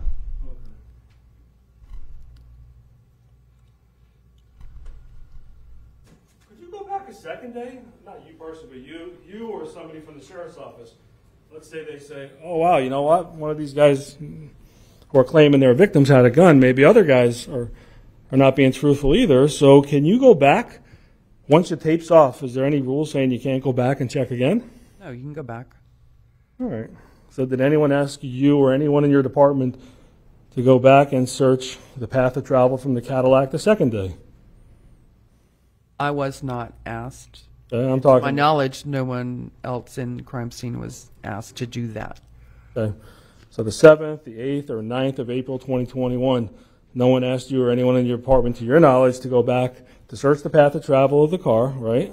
Correct. Or 40th and Broadway to search roofs, behind fenced areas, right? Correct. Did anyone ask you to photograph for injuries the two gentlemen that were talking to Detective Andolin, Chris Lowe, and Keyshawn Jones while you were there? No. You normally do that if someone's involved in a fight or a shooting? Yes, but also we get help from the detectives who are able to take photographs if not, I'm not immediately available or an investigator is not immediately available. The, the police themselves have the ability to take photographs? Yes. Okay. So you don't know if that was done. You didn't do it, but you don't know if the detectives did it in this case. Correct. And let's talk about photographs of, of individuals. Um, no one asked you to ever take a photograph of Mr. Travis Rudolph, did they? No. Um, and you could have done that when he came out of his home and was in handcuffs. If someone asked you to, to document his injuries or lack of injuries, you could do that with photographs, right? If asked, I could have photographed him. Yes, right, to your knowledge, do you know if anybody from crime scene did that? I'm not aware that anybody had contact with him. How about uh, someone named DJ or Darrell Rudolph? Same questions. Were you asked to photograph him? No, Uh, You know, to your knowledge, nobody was asked to photograph him, right? I'm not aware of anyone else who was asked. Okay.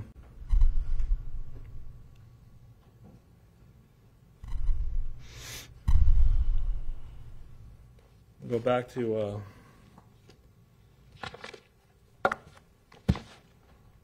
States Exhibit number 53, N, as in Nancy. Get out of the way.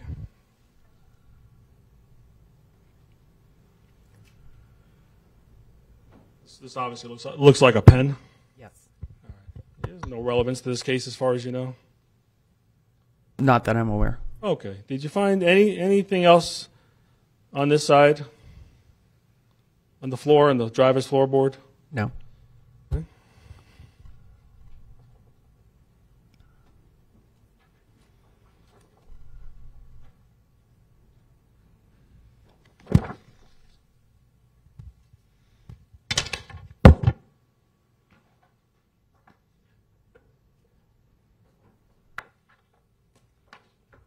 Q, as in Queen, Queen.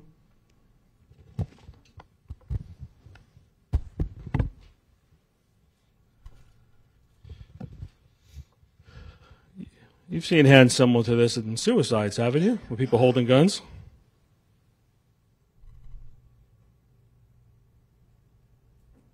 I've seen hands in that similar position on several scenes.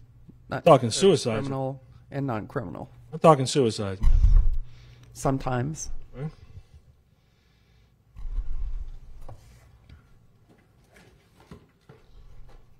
I'm going to show you, uh, it's been entered into evidence. States Exhibit Number Four. Huh? I, I don't need gloves, I'm fine. I'm sorry? I'm fine without gloves unless you want me to put them on. Apparently, the state wants you to. Not really sure why, honestly, at this point, but You want me to put them on, Judge? yeah. I'll just need one, thank you.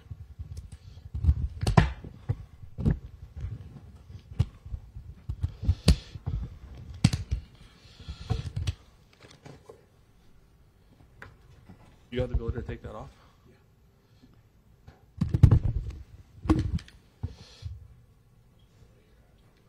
Oh, sorry.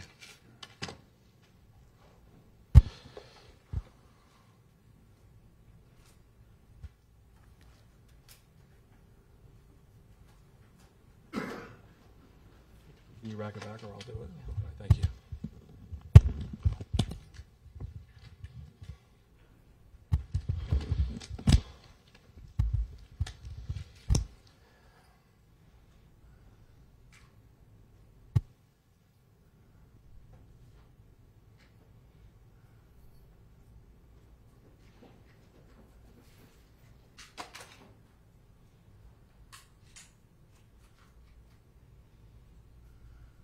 Can can you just put it back? Thanks. Thank you. Appreciate it. All right. Defense exhibit number four. It's been entered into evidence, no clip in it, and the deputy cleared it, so. no- I'm sorry, you said s- defense? States exhibit four, apologize. Right. And the, the last uh, exhibit you were talking, you said defense as well. Aren't those all state? Those are all state. Yeah, everything that you used so far. Yes, sir. That's what I thought. Okay, that. that's okay. All right, would you agree that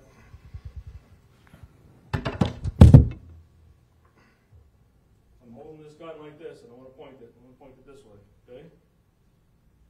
Like, gun this way.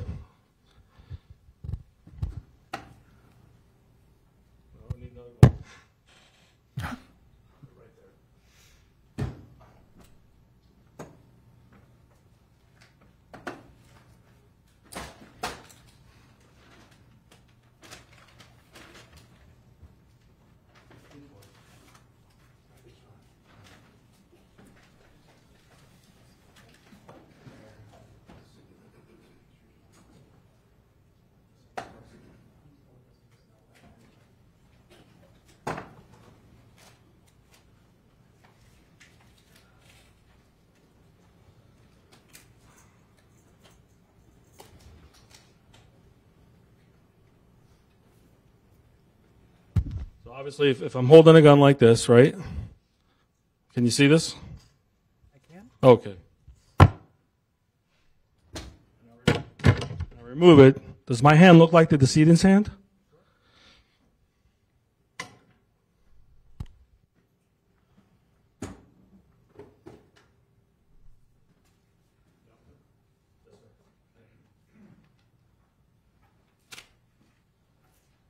Talk to the medical examiner to try to get information if that was consistent with the decedent's hand with holding a firearm, do you? No.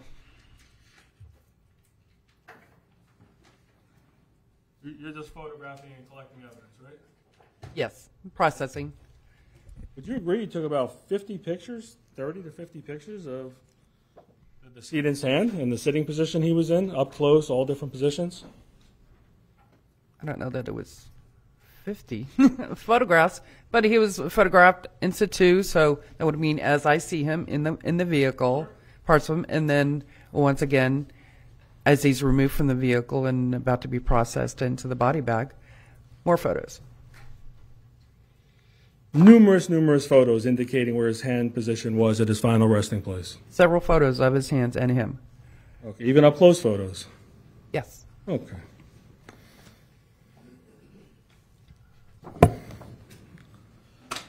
Let's skip around a little bit because pictures are in order somewhat. I'll show you the state's exhibit number 53B, It's been entered into evidence.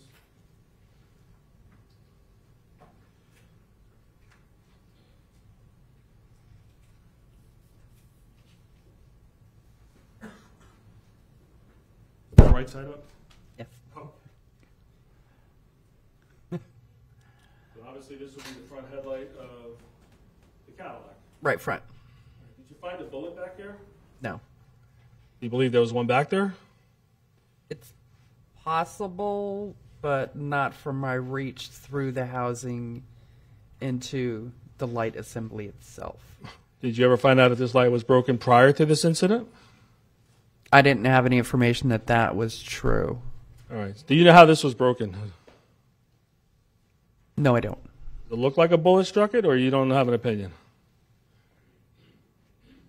The damage that is to the housing, to the headlight housing itself, and not the interior, is larger than you would typically see in a single bullet hole. But that may be because of the material is fragile and it broke apart in larger pieces. So, but I do not know for a fact that a bullet hole caused that damage. You have an opinion?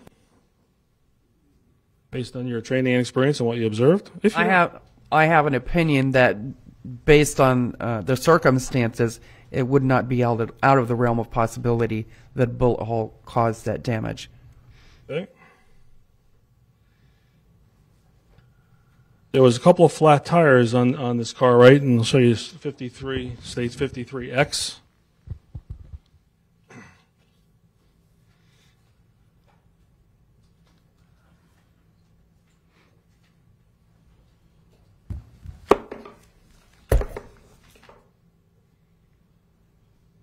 Would you agree that's the passenger front tire Yes. and that's flat? Yes. Find a bullet in there?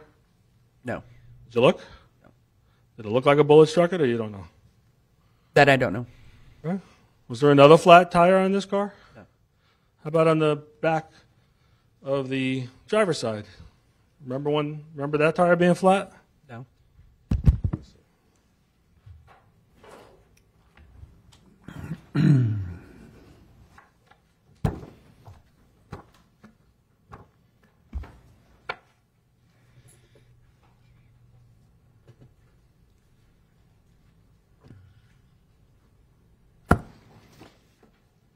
Fifty-three DD. States fifty-three DD. I don't know if you can see it. I, I can't see it there. Look, may I approach the witness, Judge? You may. 53 DD, you see a flat tire in this photograph?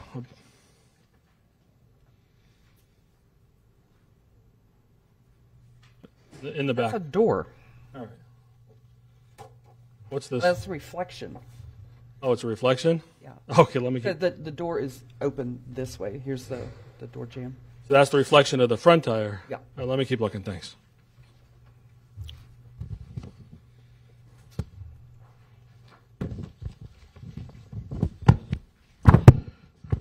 Did you take a picture of the driver's side? Yes.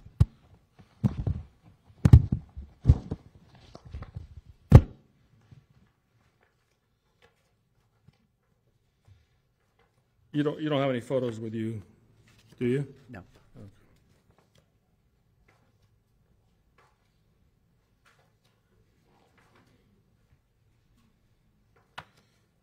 I believe it was on the video. Do you remember the video of your walkthrough? Do you remember seeing a flat tire in the back behind the driver's side, the rear tire? The left rear passenger uh, behind the driver's. When you say left, so if I'm if I'm behind the I'm car, thinking left is driver's side. if I'm behind the car, it'd be to my left, You're facing the trunk, facing the trunk. so on your left.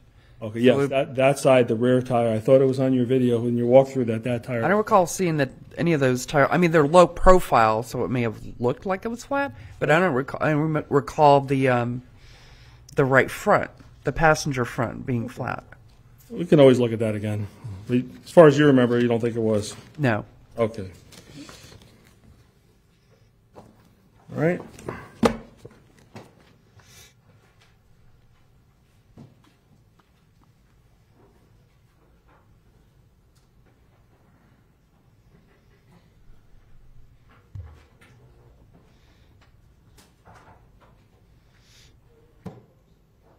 Here's a picture. You're right. It was not.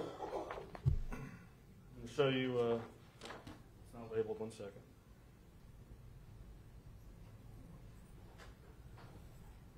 Uh, states 12, 12 A, A through G. I don't know which letter this is, but you're right. That, that's not flat. No. Okay. So the only flat tire was the one in the front. Yes. Did you did you see or do you did you get under the car to see how the engine leaked all that oil where the bullets went through? I did not. Do you know if it was through the front of the tire of the car possibly? Through the grill? appeared- I'm sorry. It appeared it began under the engine compartment when I first got there. That's where it was concentrated, and as I remained at the scene, the fluid started drifting towards the back of the vehicle. Sure, but obviously from this case, bullet holes must have hit what- the pan with the oil or the engine, right? Oh, no doubt. Right. Did you get under there to see which direction the bullets came from to hit the engine or the oil pan? No. So is there any way of knowing if it came from the front of the car, or the side of the car, back of the car? Can you tell? No.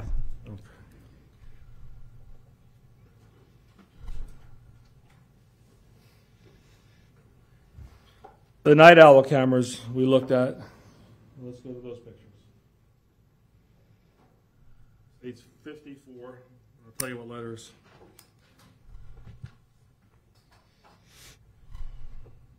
Let's start with the outside of the house. 54A.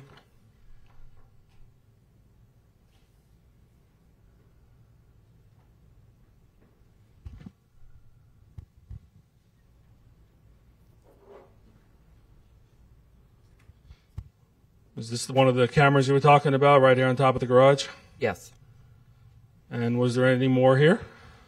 Above the front door. Okay.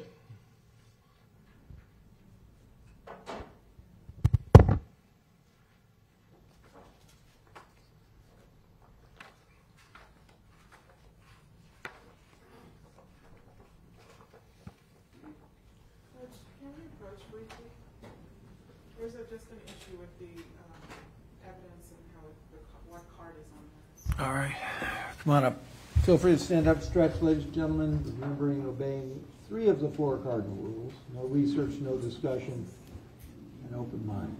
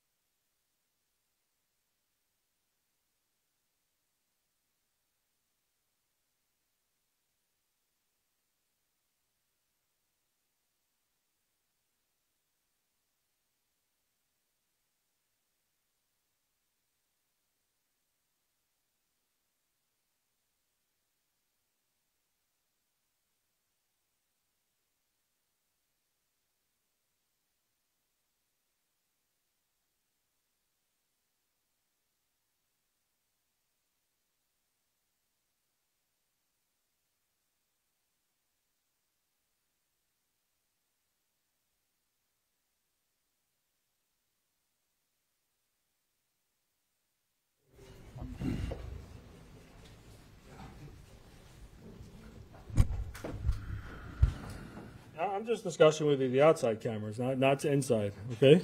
Correct. Because inside you said there was a screen, not a camera, but a monitor with, you could see five cameras, right? Yes. I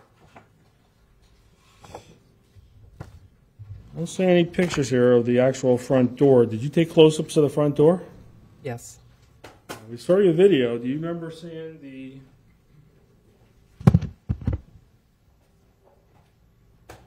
On your video, do you remember seeing the camera at the front door not facing outwards? It was facing towards the house. Yes. That look a little odd to you? That someone would have a security camera and it's facing to the house? Yes. Did you take fingerprints off of that? I did not. Uh, fingerprints uh, would possibly you can compare that if there was a latent print. How would you do that? Would, would how do you do that? How do you take fingerprints or try to? Depends on what the surface is. You you remember the surface on the camera above the door? Hmm. Some kind of resin, I assume, All right. How would you take fingerprints if you tried to? with mag or black powder. All right, and then you brush it on to see if you get a ridge detail. Yes. Then you could possibly match it up to someone who you have a standard that you knew that what fingerprints they really had. Well, someone else would do that. Yes. Sure. I mean, you're not an expert now. You're only an expert in taking or trying to get prints off of something, right? Yes. Okay. And you can also swab something for DNA, like a camera, right? Sure. What's what's swabbing for DNA? What do you do? How do you do that? We use, well, our department, our process is we use sterile cotton swabs, which are basically Q-tips. Um, moisten them with distilled or sterile water, and then you rub the swabs, your moistened swabs, against whatever substrate you're processing. And your knowledge, when you do that, you have a DNA lab at the sheriff's office who can tell tell us if somebody may have left their DNA on an object. If their DNA is present on an object. And to do that, you would have to just take a standard, like a swab of their mouth. Right, for a comparison. You, you've taken standards, right? Sure. So this way you can see if they match up to an unknown or DNA that's on an object to see if that person who you took the swab from touched that item, right? Correct. You didn't do that in this case. No. Nobody asked you to do that. No.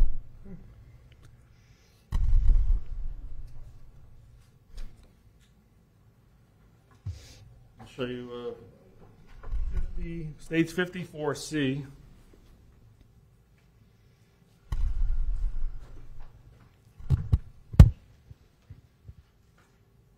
Said the camera was up here? Yes. Two cameras or one? I believe there were two. Okay. Facing different directions? Yes. So when you arrive to this house, when you're outside the home, you don't know if you're being recorded, do you? Correct. When you got to the front of the house, you don't know if you're being recorded. Correct. While you were in the house watching the monitor, did you think the, it was, the DVR was recording everything? I wasn't watching the monitor. Well, you got a picture of it. You saw there was five different cameras, right? For documentation purposes, I wasn't staring at the monitor. No, of course not. But but you saw there was a live view of five different cameras from the outside, right? Well, there were five different camera views. I don't know if they were li- how last they were live. So, Well, they were I'm live when you were in the house, weren't they? well, there were views on the monitor. Yes, and there were five camera views uh, from exterior cameras. I know you weren't staring at it, but if you would look at it, you could see what's going on outside from inside the house, right? If they were working and timed correctly, I guess one could, but I didn't view it in that manner. Okay, so for documentation only. All right. So you can't tell us if if if I'm in the house as a law enforcement officer at three o'clock in the morning and I look at the screen, can I see who's coming to the front door? Well, I wouldn't see the front door because it's facing the wrong way.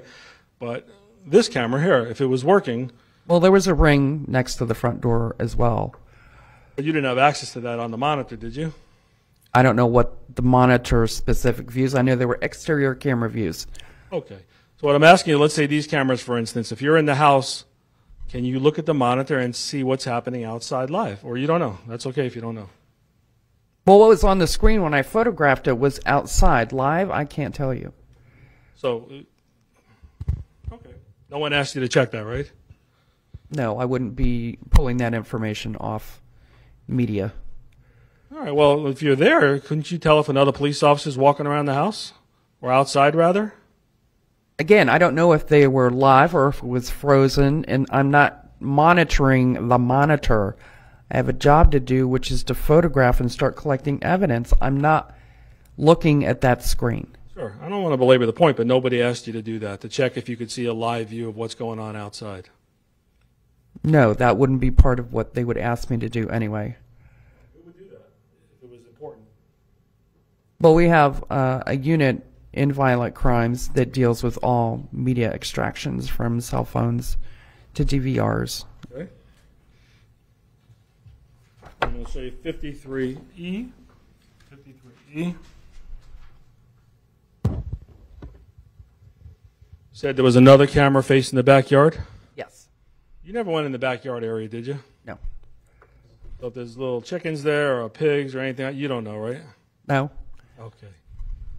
And where was this camera? It's kind of hard to see. Was it on the? It's at the corner. It's fa- It's facing the bas- backyard, so it's actually the exterior south face of that residence, which is facing the backyard, but it's the west, extreme west corner of it.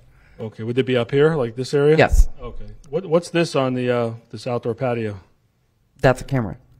And what's up here? Well, there's two. One on the corner Okay. there, and then the, I guess that's a porch. So the cover or roof of the porch. Okay.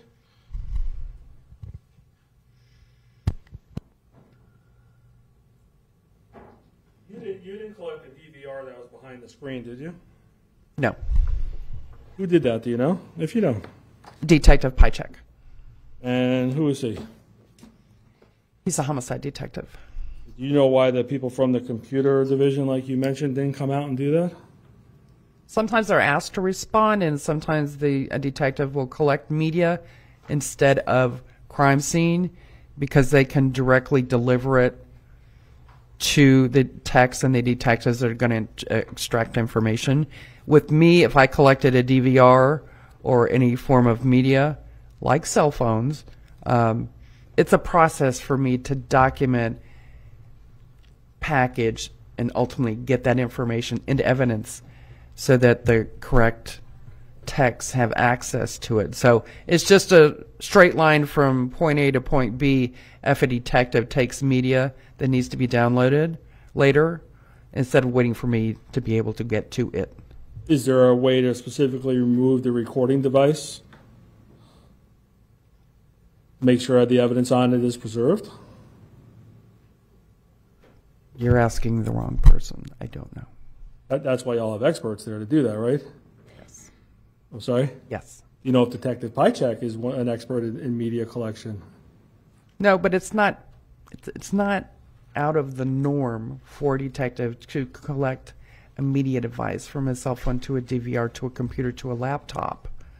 You know if he's an expert is my question. I'm sorry, no. Okay.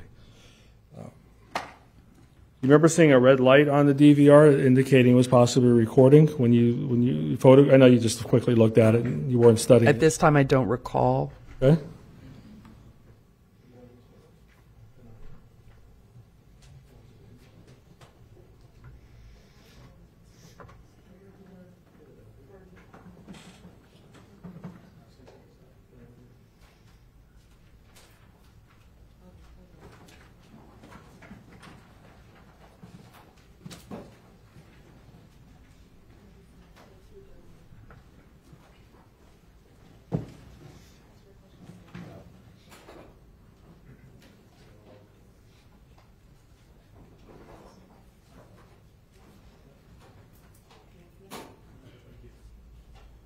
Show you State's Exhibit 35.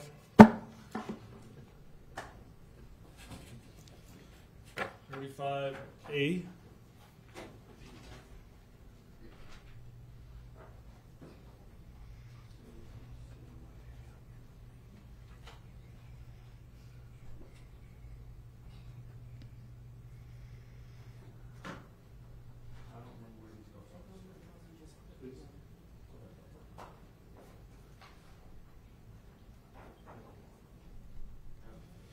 Page 35A.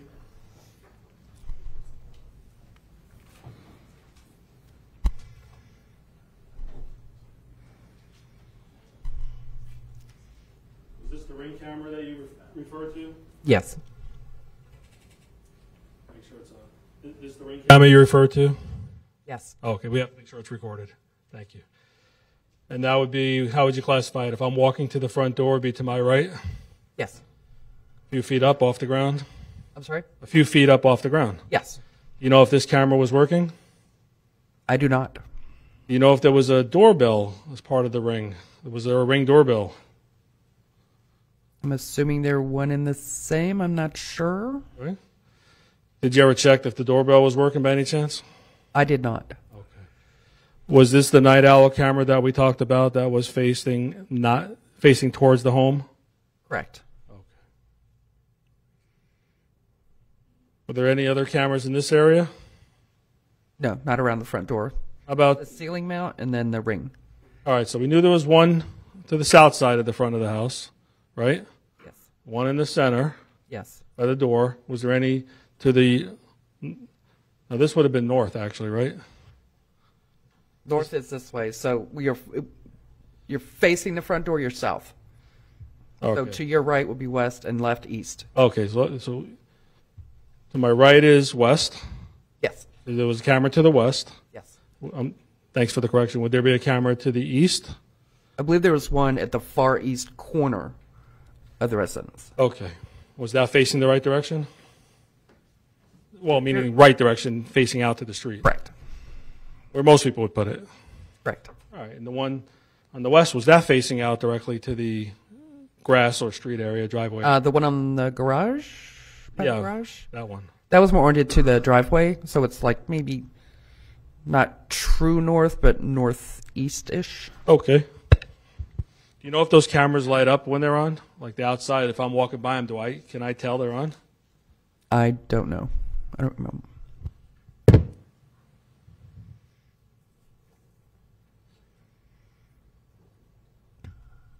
Now let me go back to 35B.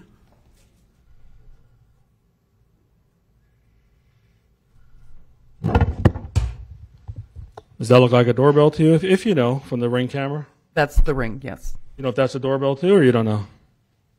I don't know. If I show you the picture, would that help, or you know you would know? Well, I don't have a ring, so I don't know all the components oh. and the doodads that come with it. So Gotcha.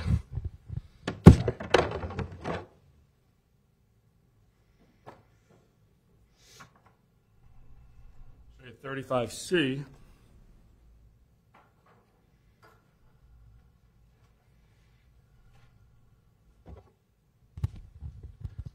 And this was the monitor you're referring to? yes, And you see five different screens, different split screens? yes. Okay. Did it appear to be working, or did it appear to not be working? Or you don't know? I don't know. Okay.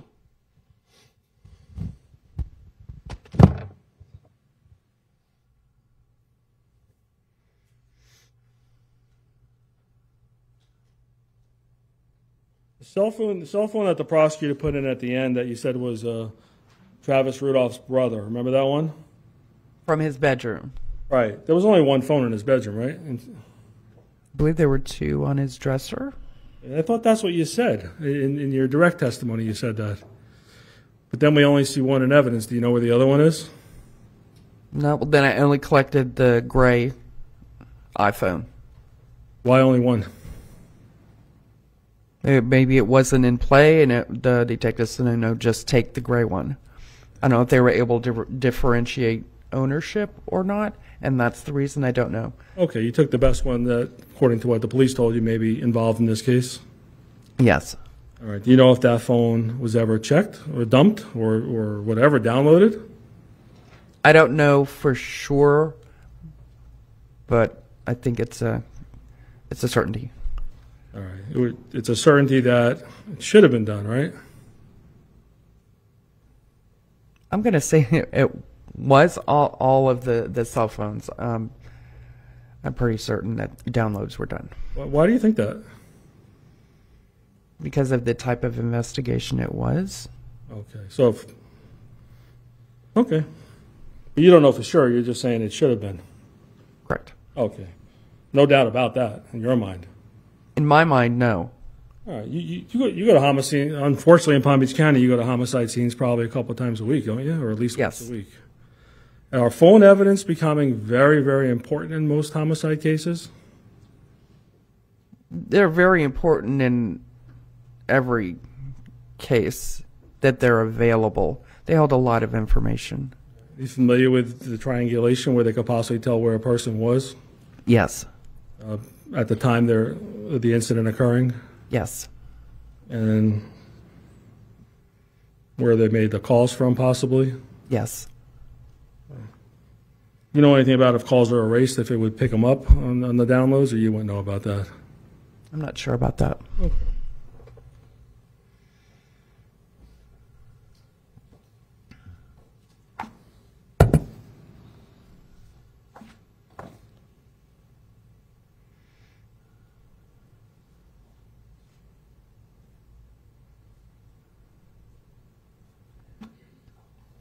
Remember some football paraphernalia in Mr. Rudolph's room, like a football and a football helmet from the Giants? Do you remember seeing that? Yes. And you actually, I could show this to you, but do you remember, you remember on photograph number L, the letter number L and 35L? Was it that the TV even had a football channel on? I'm going to show you I know it's on, but I just don't know what was, approach to it. You may. what the information, what channel it was on.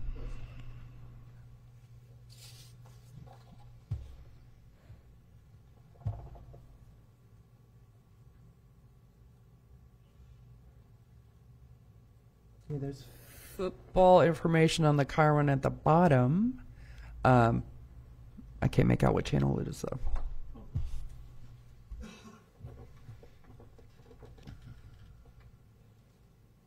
Remember seeing the Raiders sign on the bottom?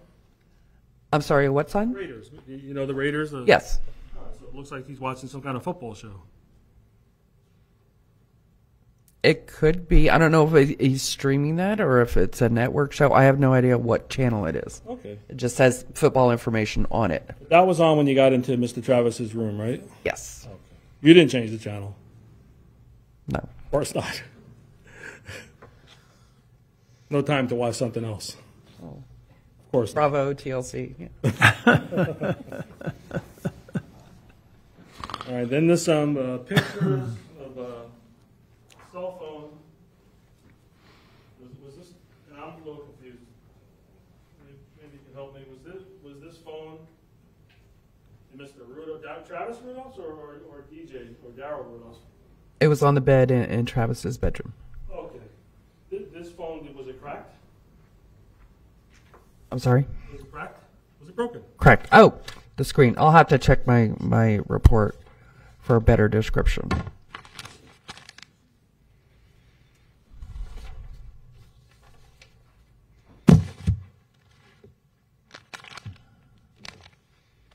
Yes, atop the bed, the black Apple iPhone with a cracked screen.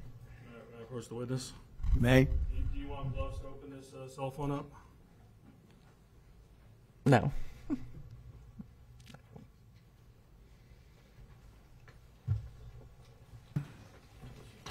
They're gonna give me anyway. Thank you. You watching? Yes, ma'am. That was professional. Does this? But I'm much better than me. Do I have to chew it open, or can I have some scissors? Need some scissors? You got scissors? There you go. Mr. Shiner. Here. Or, Thanks, Mike. Thank you, darling.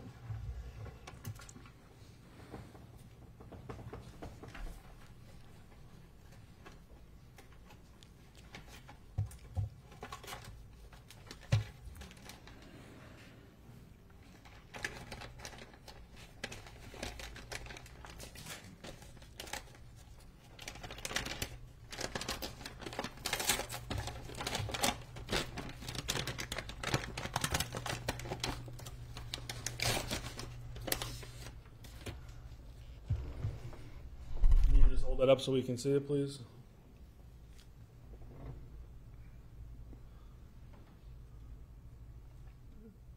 I, I can't tell it's cracked. Where is it cracked?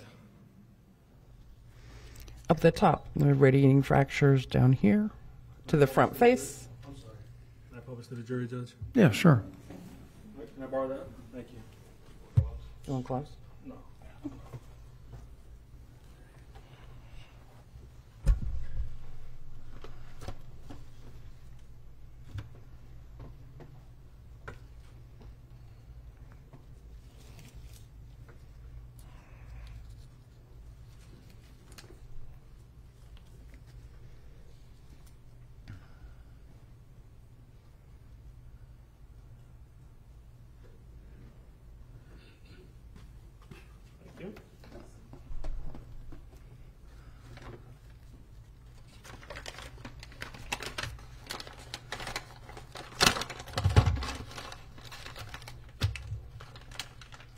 You can take the gloves off. I probably won't show you anything that you may need them. Promise? All right, that phone that we just we just saw. Um, did you try to see if it was working? No, but I manipulated it in order to photograph it, and usually if it's on, the screen will light up. Okay, because we saw pictures of the phone that was in the trunk with the tennis screen. Remember that the red Yes. phone? Yes. And that we could see there was a whole bunch of writing on there. Remember that? Yes. All right. So normally, if you move the phone, if it's working or on, If it's on, that will activate the screensaver, and it will come on. you you don't know that phone got cracked or broken or whatever condition it's in, do you? No. All right. Let me show you 53. Oh.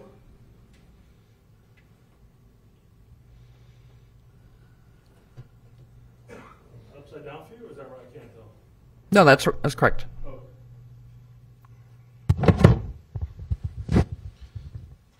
How, big would you say the monitor is in the in the living room area? Rough estimate. Um, maybe 32 or smaller. 32 inches or smaller. Yeah. Okay. and behind it, would that be, to your knowledge, the DVR that records or doesn't record, whatever?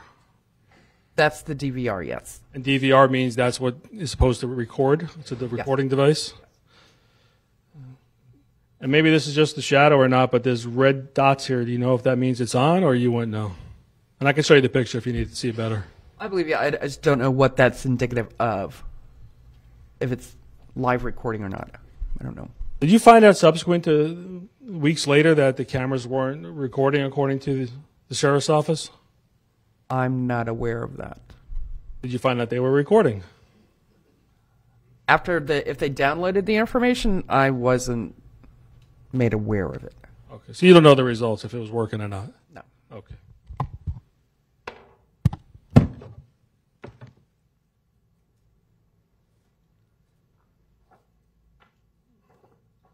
And you and you collected photographs with the with the cameras and the guidebook on how to work it, right? Yes. And where where did you find the letter R and Q as a password, right? Yes. Where where, where did you find the, the guidebook and things like that? That information was in uh, Travis Rudolph's bedroom. You know where? Roughly? Like in a drawer? Was it out? No, I believe it was that and other information that was pulled was in a, a nightstand drawer next to his bed. Was it his bed or the mom's room or your, you, you No, his bedroom. Okay. Yeah. All right.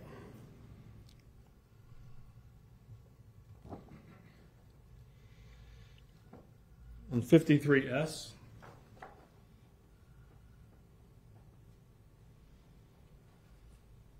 What's this phone case is to what? It's part of the phone case. Um, I don't know if it originated. I don't know where it originated from. If it was part of the the what was on the phone on the bed or not. Was this in, in the brother's room or in Mr. Rudolph's room? Travis Rudolph's bedroom. Okay. So you- it was it was already off the phone the time you you got there, right? It was there when I started photographing this scene. All right. So would you assume this, based on what you saw, was this case originally, or because it fit that phone that we saw that's cracked? Yes. And there's no case on that phone, right? No. The one that you have in evidence? Right.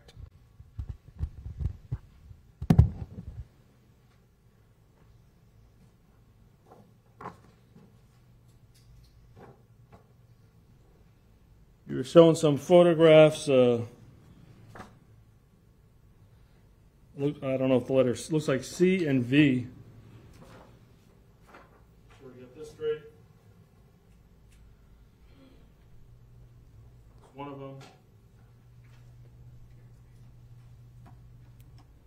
Another one. Let me show you another one, and then also E.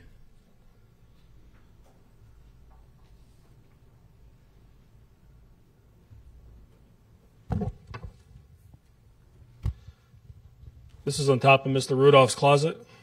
Yes. All right, so it's obvious he didn't uh, try to take this gun and throw it down a sewer, right? Well, I I don't know if that's obvious, but this is where it was when I documented it. Okay. You, you, didn't, you didn't have to go on a roof to find this gun, did you? Correct. You didn't use any drones to find it, right? No. You just walk right in; it's right there. That's where it was located. You you could see this; it wasn't hidden, right? No. And it was actually made safe. There was absolutely no bullets still in the gun when you observed it, right? Uh, there were no bullets and there was no magazine. Okay, so this gun was made safe. When law enforcement came in, there was no, you didn't have to get anyone to remove the magazine or take any bullets out of the chamber, right? Well, any firearm that is discovered on any scene is checked anyway for safety by a law enforcement officer. And that was done by Detective Pychek. He confirmed there was nothing in the chamber and there was no magazine. And that's a smart thing to do when you know the police are coming to your house to, for a shooting and you just use that gun, right? Take the bullets out, right? I'm supposed to respond to that? No, I, think it's I've never had to hide a gun from the police, so I don't know what no, all the moving parts are when you're going to do that. course, So I don't you've know. been- you've been to a lot of crime scenes, right? Yes, You don't always see guns right out in the open where someone's accused of killing another human being, do you? True. Sometimes you do, sometimes you don't. Yeah, sometimes people discard them, they hide them, right? True. Right? Even sometimes you got to dig in closets, right? Sure. Open up safes. Look under beds. Anywhere a mind can deviate, Sure. people can do it. Absolutely. Okay. And when you found the drum in, uh, uh, that holds 100 bullets, it holds 100 bullets, right? That's true. That was in the brother's room, Daryl Rudolph. Yes, under the bed. All right. Completely on the other side of the house, right? Yes, opposite ends. Okay. And it wasn't completely under the bed. You said you, you the produce you could see it partly sticking out, right? Well, that was after it was found. Oh, okay. So did you pull it out? Yeah, the uh, the detective who discovered it, um, when he looked under the bed, he pulled out the edge of it so that it could be photographed before being completely removed. It wasn't covered by a blanket, was it? Not that I'm aware of. There was nothing. Uh, It was just covered by the bed. sure. And if you look under the bed, it's right there. Sure. Okay.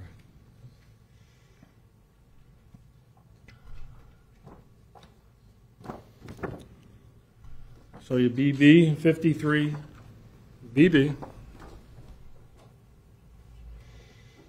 Hard to see, but if your testimony, tell me if you agree. Your testimony is that's where the other firearm was, the FN, Yes. and it was at a holster. Yes. You know if this has anything to do with this case at all? Not that I'm aware of. Okay. You just took it and photographed it because, hey, you never know, right? Correct. Any gun may be involved in a homicide case. So you wanted to make sure. Correct. Can't go back a month later. Well, maybe you could, but it'll be much harder a month later if you find out this F and N had something to do with this case. It'd be too late to go back and possibly collect it if someone hid it from you, right? Correct.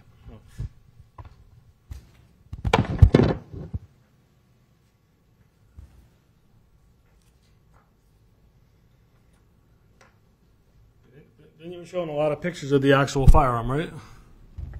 The actual firearm, the the The FN or the SIG? I'm getting to it. I'm a little slow. Sorry. The two two three sig. Yes.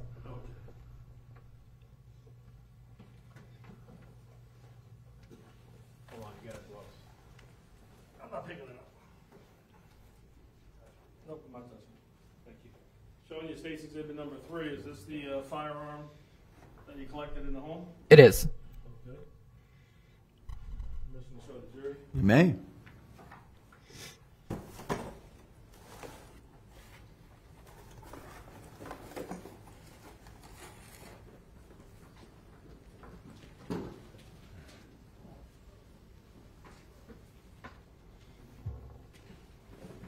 Does you tell the jury they can see this later? Is that possible? Oh, sure. Yeah, you will be able to see that later, but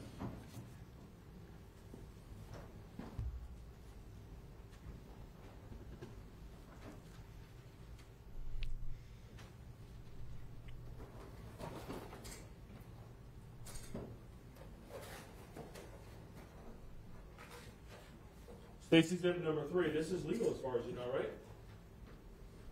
I would defer to others on that. I'm not an expert.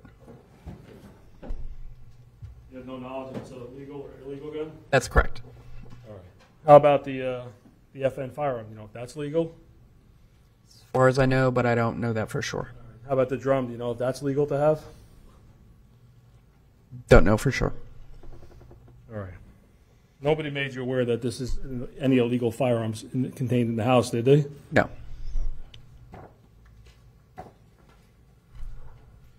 You also said that Mr. Rudolph had a carry concealed weapons? Permit? Yes.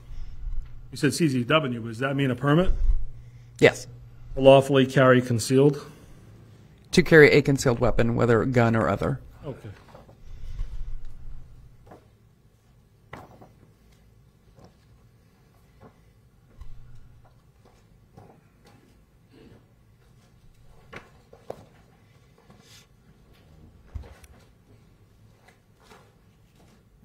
In the boxes and in the information that you found in the bedroom, was there any guidebooks on how to work these firearms as well? Owner's manual? I'll have to check my report. I'm not sure. That was in the nightstand. All right. Well, that was found in Mr. Rudolph's ru- house, right? Yes. States uh, 53W. But it wasn't in a gun box. Oh, okay, no problem. But what is this? It says owner's manual, right? Yes. So this wasn't, and you saw the boxes with my client's name on it. Mr. Rudolph's name had, his, at least on the one of the boxes that we saw earlier, his name was on the box, right? Yes. Even had the date when he probably bought it, right? Yes. These guns weren't like from the street at all, right? As far as you can tell. I don't know that for sure. All right, but do you usually see boxes and manuals from guns bought hot off the street? Objection, this calls for speculation. rather than this fact question. sustained. You, you don't know anything about hot guns or buying them off the street. You don't, right? You don't know that. If these particular guns were, or Any in general, you, you can't tell, right? no, Okay. The other police officers do that kind of work, right? Yes, Okay.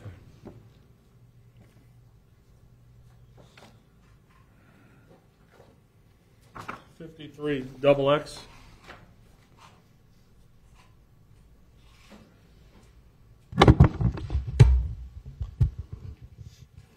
That's the one you said that had Mr. Rudolph's name? yes, PUs, that's probably mean pickup, or you don't know? I would think that's what it means. Yeah, And eleven twenty-nine, two thousand and seventeen? yes, And this was the FN handgun that was in the holster in the drawer? yes. Okay.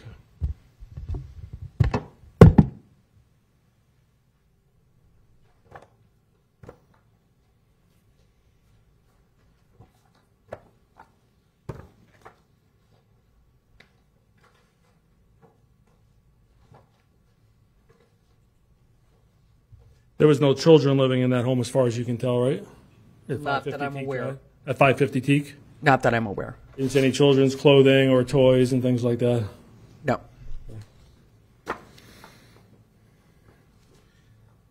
Do you remember seeing a, I know it's been a long time, but any kind of bags near Mr. Rudolph's bed? Bad. Training bags that somebody maybe take, take with them to train to a gym or something like that? Not that I recall. Okay.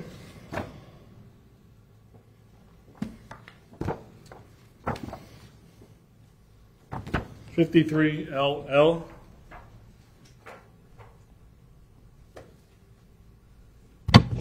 These are the two phones you talked about earlier that were Mr. Rudolph's home. Yes, in, And I mean DJ or the brother's home. I apologize. in his bedroom, yeah. Bedroom, yeah, I'm sorry. Which one did you take? This one or, or this one, or can you not tell? The gray Apple iPhone. It'll be the one. Well, I can't tell from Ah, when okay. which. Does it have silver edges on it? You don't know. I don't recall. Let me show you the phone. Okay.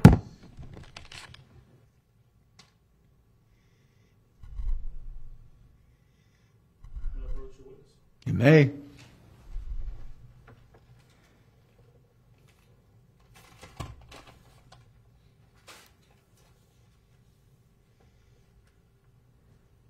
Showing you states number 70. Am I taking this out? You need clothes if you, if you, need clothes No, am I taking it out of the evidence bag? Well, I just want, well, I want you to peek in there and tell me which one it is, so you can match it up in there. You- I don't want to waste time with putting clothes on. Okay. You need gloves to peek in there, huh? Better safe than sorry.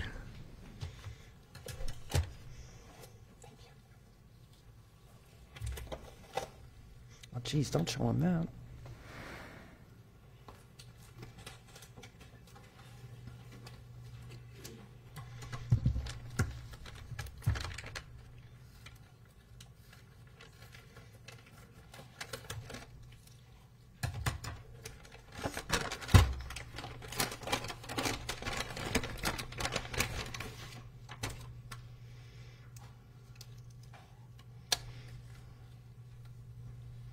Okay, can you, A little disappointed. I mean, it, this this one has a cover. So which one is it? Can you in its or- cover, there's no silver exposed. Okay, so I'm thinking I'm going with right Okay, because there's no shiny element on the perimeter of the phone. gotcha. And do you know if this phone turned on at all when you moved it? I believe it did. The screensaver activated. All right.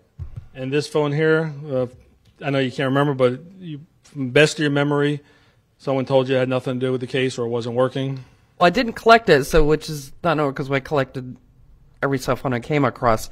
Um, so I must have been told it wasn't in play. All right, thank you.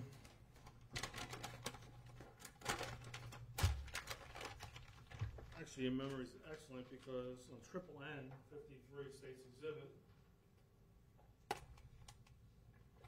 I think you took a photograph of the phone, the front of it when it when you moved it, right? Yes. You know, you, you didn't look at this phone to see if any of this had any relevance, did you? No, I didn't. That'd be something for the detective to do. Yes. Okay. And like you said, dump the phone to find out everything that's in that phone, right? Correct.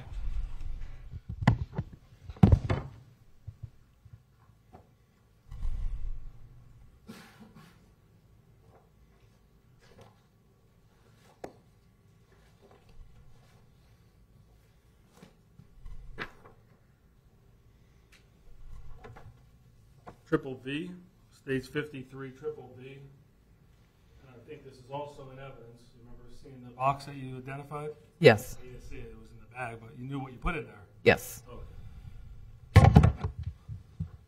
No crime having live ammunition in your house, is there? No. You could have a million bullets if you want them, right? Yes.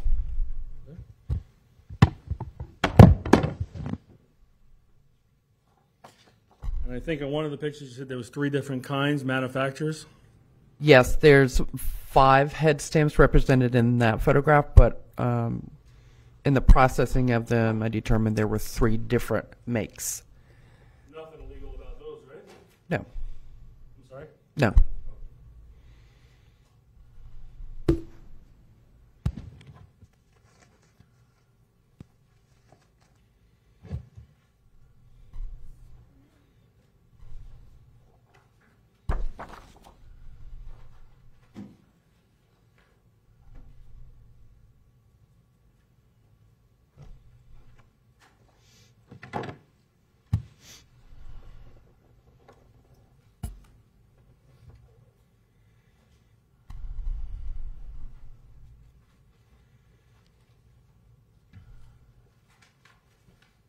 Talk about what you found in the black Cadillac.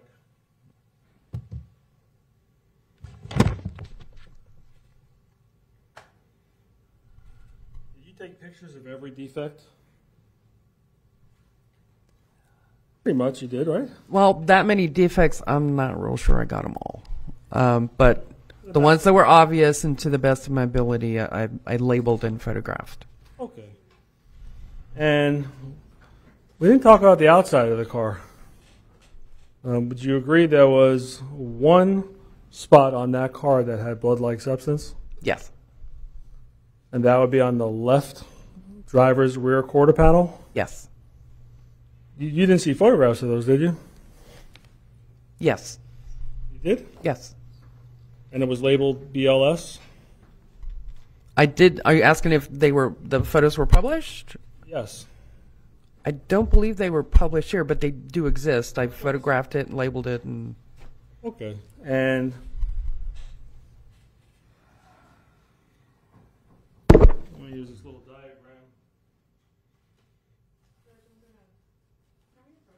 Sure. Feel free to stand up and stretch, folks.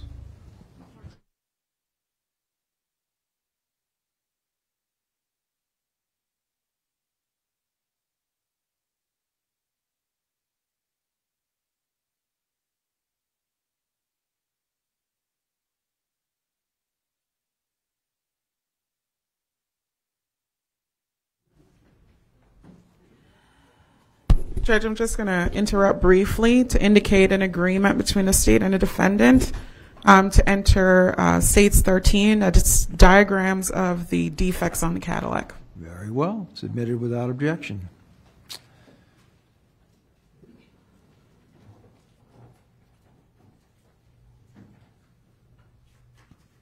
are not your diagrams, are they? no. All right, but I'm just using a diagram to help explain where the blood-like substance was.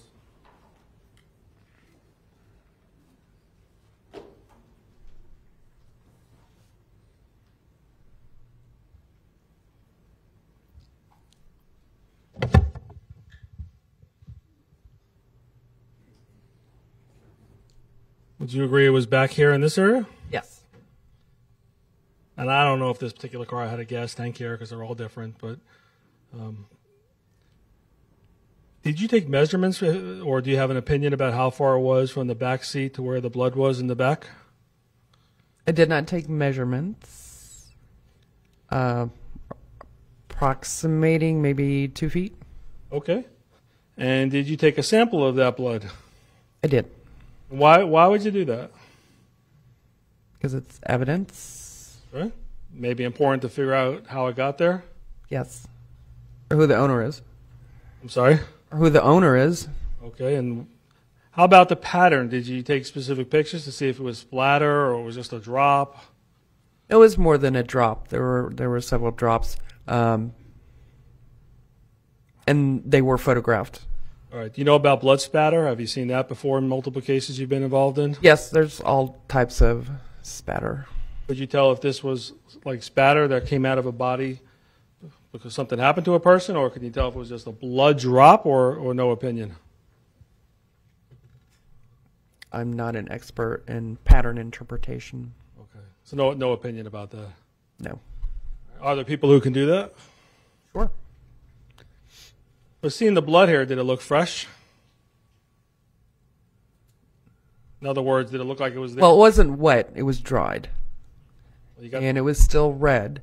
Okay. So to me, that indicates it didn't have age on it, because then it starts to turn brown Okay. after several hours. So who, who would determine if this is going to be tested, this blood? Would that be the lead detective?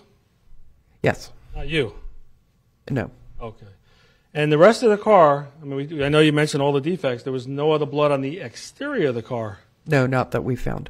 All right. How about the interior in the back seat? You didn't mention on direct any blood that was in the back seat.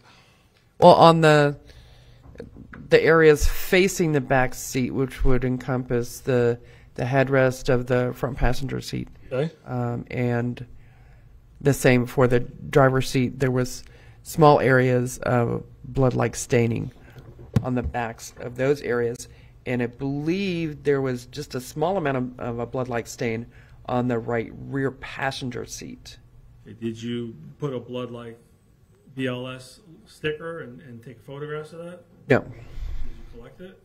no. All right. How come?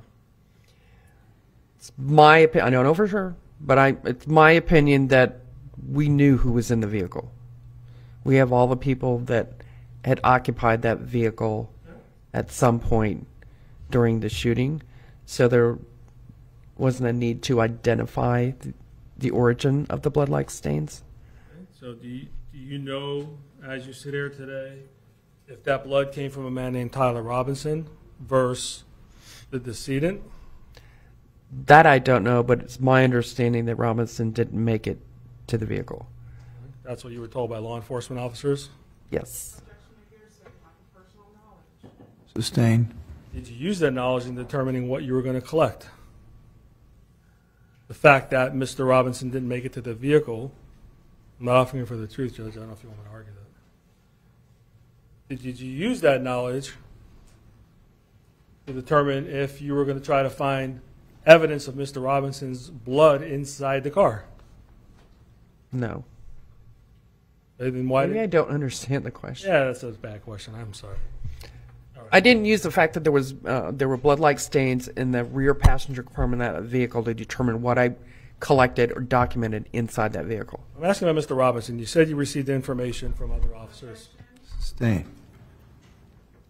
I didn't even ask the question yet. Well, it was the same question that, you just said you were going to ask her the same question that you've already asked. You may.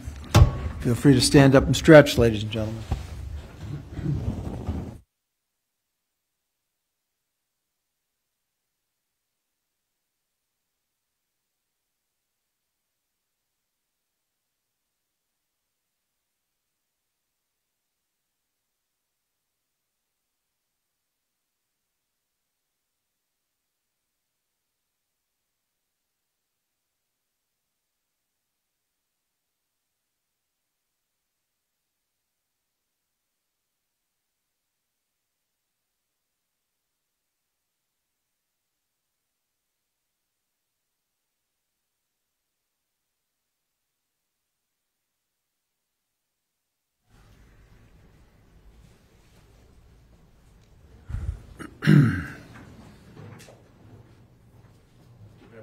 Yes, please do.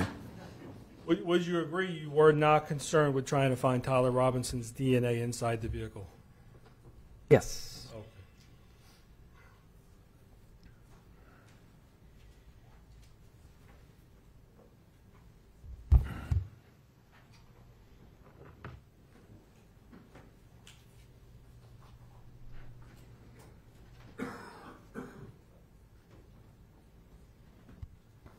All right, let's talk about the, the phones in the car in the trunk. State's Exhibit 39.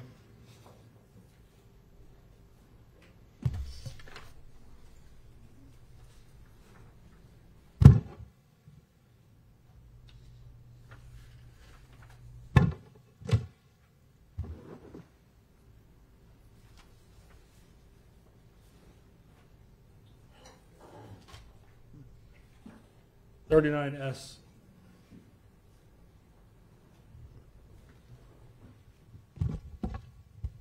this the phone you testified was in the black bag? There were two cell phones in that trunk. I don't can't tell from the screen which one it is. All right, well, let me.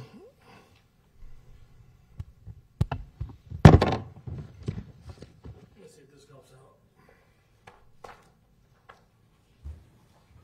39Q. Does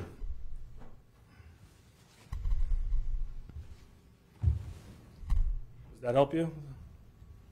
That's the contents of the in- main compartment of the bag, and that screen does not look similar to what was in the bag. The other screen view that you showed. I don't know. Sometimes screens change, don't they? If it's on screensaver mode, it should be the same image that comes up. If it's locked. Right, well, I wasn't there, so um, do you have any notes that can reflect uh, to help? There should be another photograph of, of the other phone, Yes, I can do and that. it's There's a- it's also screen. 39E. Do you see that, or is it too far? I can see that doesn't tell me which one it is. There was a loose one, and then there was one in in the satchel. Let me show you the other phone. N.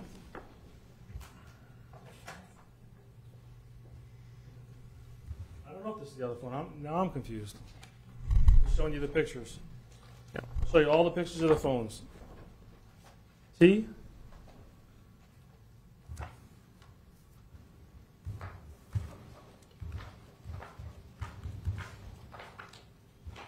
Maybe this one. There's a lot of pictures. How about H? Uh, the the the red Apple iPhone was laying on the floor of the trunk, Okay. and the blue Apple iPhone was inside the satchel. Okay, so this is G. Is that the red one you're referring to?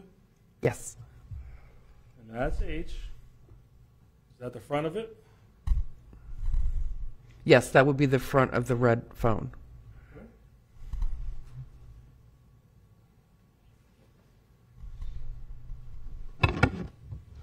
So the phone that was in the satchel that we had identification of the decedent, Mr. Jean Jacques, that would have been in his bag, right?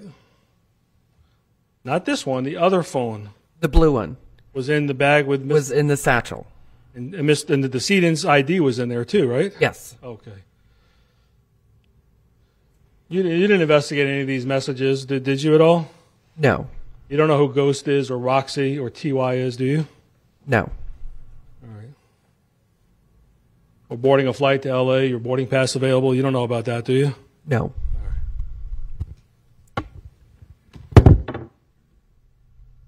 So two phones in the trunk. Yes. You, you don't know who belongs, who belong, who owns this phone, the one with the tennis rackets on the screensaver. No. If that's the blue one, um, you can guess that it's uh, the decedent because his ID is in there, but I don't know for sure. Right. Well, let me show you these photographs. This was the decedent's phone, right? Yes. Well, it was in the satchel with his ID. Of course. That'll be for the, the police to determine who the owner or who used that phone, right? Yes. The detectives. Yes. And you would suspect they would clearly try to get into that one as well, so we could see what was done with that phone, right? I would think that would be part of the investigation. Yes. Every phone. Every sorry? phone involving this case. My opinion. Yes. So, you see the uh, tobacco paper you talked about? Yes. So does that look like this was in the this bag in the, with the decedent stuff? Yes. Okay. So this this is different than the phone with the tennis rackets, right? Yes. That screen is yes. Okay. So this phone is more consistent belonging to the decedent because it's in his bag with his identification. Correct.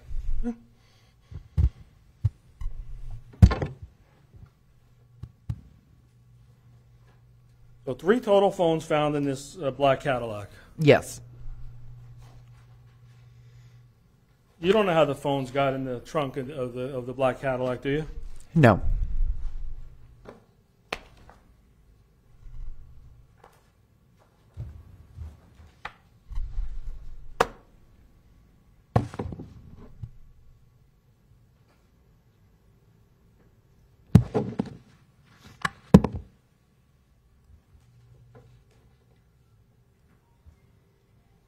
States 36 A through M.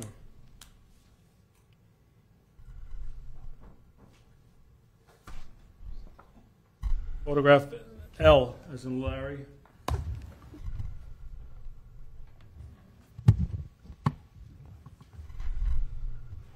Is this consistent with someone picking up a rock or a boulder and breaking a window? It could be a bat, stick. Okay. You have no idea who broke this, do you? No. That would be a crime if somebody got caught breaking another human being's. Would it be improper for this witness to talk about whether or not something is or is not? That may be true, but I'm going to overrule the objection. Go ahead, answer the question if you know the answer. It'd be a crime to somebody break another person's window if they didn't have You permission, said right? it could be, that's obvious then. Yes, You don't know who broke it, do you? I do not.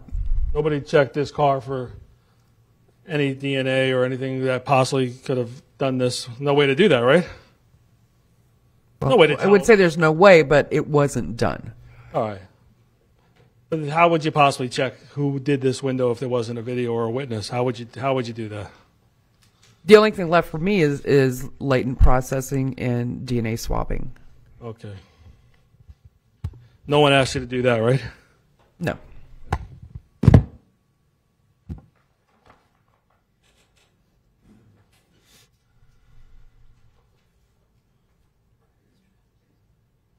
You know if that's Mr. Rudolph's car? I'm sorry. Did you find out the car with the broken window was Mr. Rudolph's car, Travis Rudolph? I don't believe I was informed of ownership. I don't know that for sure. Showing you photograph uh, 36I, State's Exhibit. Evidence. It's the black shirt that you found in the front of the yard, Yes. size large. Yes. Anybody check DNA from the neck or in the shirt to see whose it was? I don't know if that was submitted for DNA analysis or not, but again, any request for DNA or follow up analysis would come from the lead detective. Okay. But you collected it. Yes. Oh, and you put it in evidence, and it's here today, right? Yes. Okay. You're in your notes. Isn't it true that it was a cold or a cool evening that night? Yes. What, what's cool mean to you? I know Florida cool means different than in New York. So what's what's cool here? Cool for me is 55 degrees. If it's above that, I'm happy running around in shirt sleeves. So 55 degrees would be cool relatively in your, in your mind. Cold. Cold. Yeah. How about cool? Cool, cool would be uh, starting like six, 65. It'd still be okay. Do you remember the temperature by any chance this day? Or no. No. This night. No. But your notes reflect it was cool. Yes.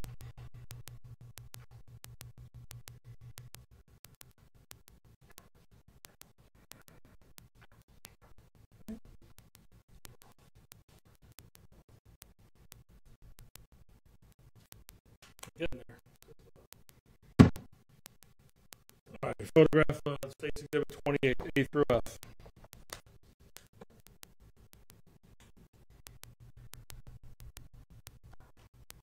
So F first.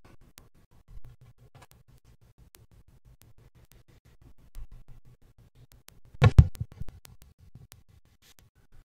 you testified this would be Mr. Jean Jacques the decedent's hand, and a bags were put over him. Correct. Why is that? Why why do y'all do that on, on these type of cases?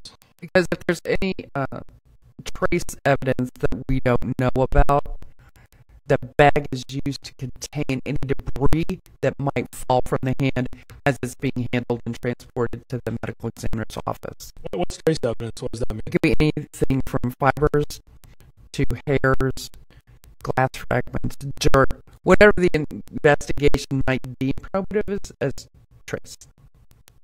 Um, if somebody gets into a hand-to-hand combat, is it possible to get trace evidence like DNA off somebody's hand?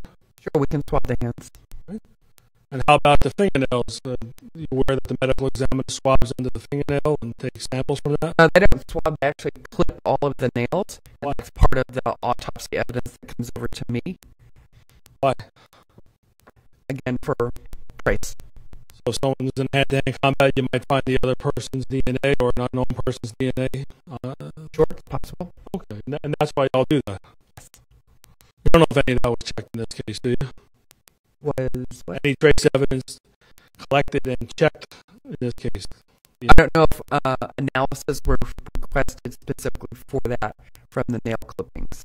All right, how about for DNA? Do you know if any DNA was attempted from the decedent's hands or wrist?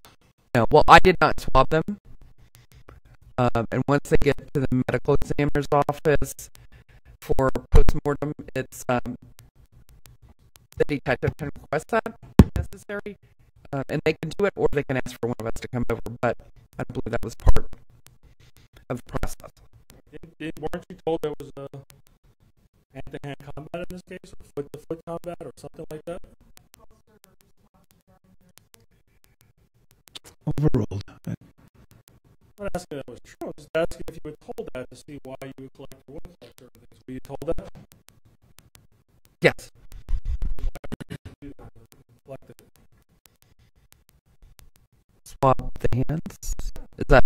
Transfer to some another human being, or Well, I need condition of the hands too. With blood like stains present, it's difficult to. With a substance like that present on a surface, it's difficult to get um, a separation DNA sample because of the contamination from blood. all right.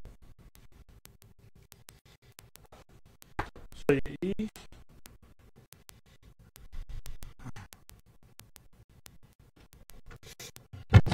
You testify this was the medical examiner's investigator, Mr. Longuasco. Yes. And why is he doing this? Just so you can get pictures? Yes, that's a typical standard photos that are taken of, of all decedents, no matter what the manner of death. Um, we do dorsal and palm side. Right. And you've seen rigor mortis, unfortunately, hundreds of times, probably, right? Yes. How would you classify this rigor mortis? Is, is minor, medium, severe? I don't know whether she does or not. Do you? No. Okay. Sustained. Was it relatively easy? The investigator, when you were there, like Wasco, did he have a hard time moving fingers back? No. have you seen cases where the medical examiner investigator has to actually break fingers to move them back? Well, you don't break the fingers, you break rigor. Okay, well, I don't know how it works. It's, yes. So uh, sometimes you have to use excessive force or a lot of force to, to open up somebody's hand? Yes. Not in this case. No.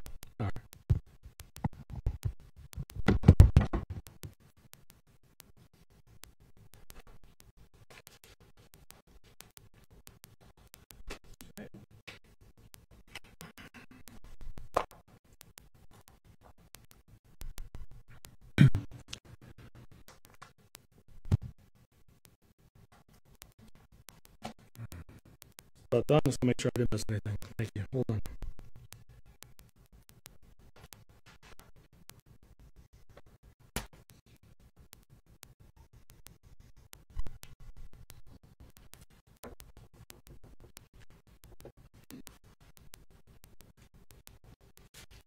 Did you ever did you ever see uh, either Travis or DJ Rudolph at all that morning? No, I don't recall seeing them on scene.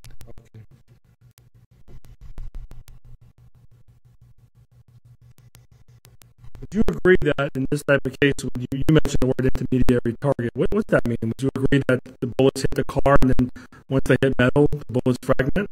Yes. So when, They go through several different iterations of themselves Sure. once they pass through a hard metal surface, and then depending on the type of ammunition, uh, they will tend to break apart, and it, it, keeps going each level or each surface it goes through, and then you're nothing but bits of metal. right. Do you know if uh, the people in this case that one got killed, one got shot, do you know if there was little fragments that hit them, or you wouldn't know? As opposed to whole bullets. I think for uh, the deceased victim, uh, based on the viewing of his back, it was a combination of both. He had large, um, what I consider gunshot wounds, and surrounded by small, almost like burning areas, um, where like hot fragments hit the skin, burned it, um, and then left. Your job as a crime scene investigator, are you are you new, supposed to be neutral, or, or, or do you generally work with the police and side with the police? Side with the police? I don't understand. All right, Detective Manley made an arrest for, for murder and three attempted first degree murders. So my question is, uh, is your job supposed to be cold and neutral, or because you're getting your salary from the sheriff's office, you tend to side with the lead detective and, and do what she asks you to do? No, that doesn't come into play. I'm there to document. The evidence actually speaks for itself, so I'm there to document, collect, and process evidence, whatever that is, and however the results turn out. All right, so in this case,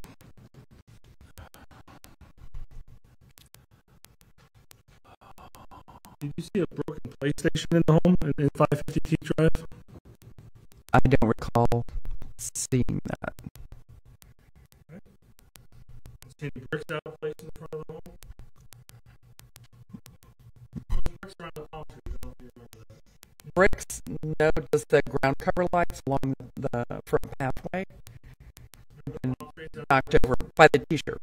I'm talking about the palm trees. There were some bricks around. You remember that? No.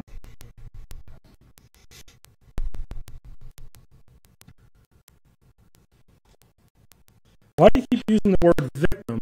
You don't know who the real victim in this case is, do you? From a legal standpoint?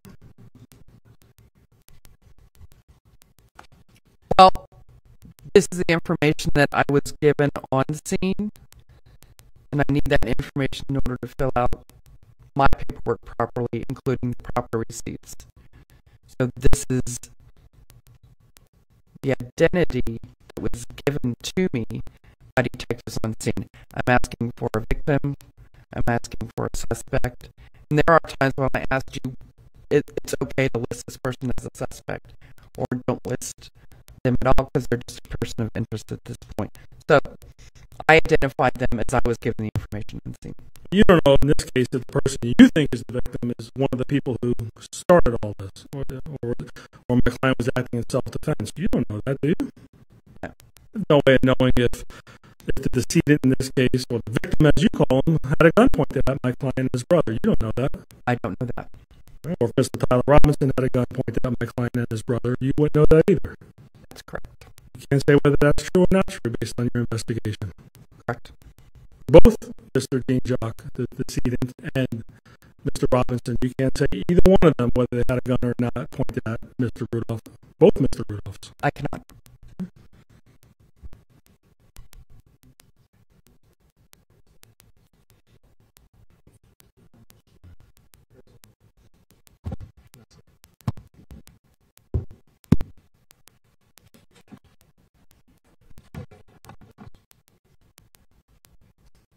54.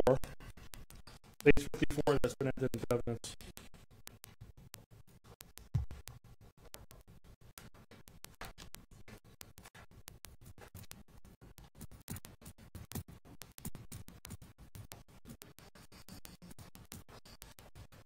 What you mentioned earlier about uh, Redwood and the street adjacent to it, the side block. I don't remember the name. Sorry. Uh, the one south of 550 Teak was Sable Palm. Sable Palm. So what did you see in that area? Well, that area on Red Redwood near Sable Palm were the blood-like stains that I swabbed for CSI Ali.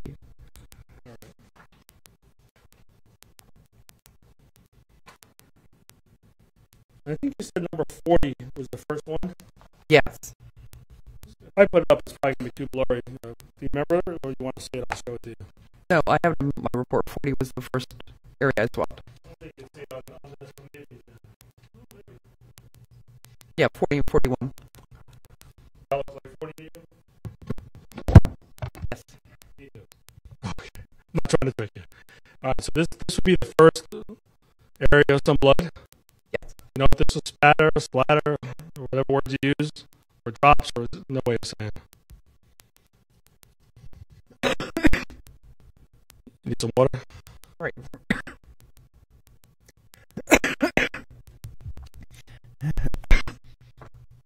Need some water? We can get you some. Working on a cold. Sorry. Uh, some of the blood-like stains that were deposited where I swabbed Some was just an area of that looked like a 90 degree drop, which would mean somebody was stationary and dripping blood. Um, others are elliptical shaped, which means somebody may have been traveling as they're depositing blood dripping from some part of their body. It wasn't a spray, but Number 40. small, small amounts. Thank you. How about number 40? What, do you, what do you remember about that? Was that like somebody was standing there running? I think all of the years people people were moving, but the last um, area that I swabbed was more uh, more 90 degree shaped, which means just more round. And usually those drops are indicative of somebody who was stationary or slowed down. All right. Give you a break.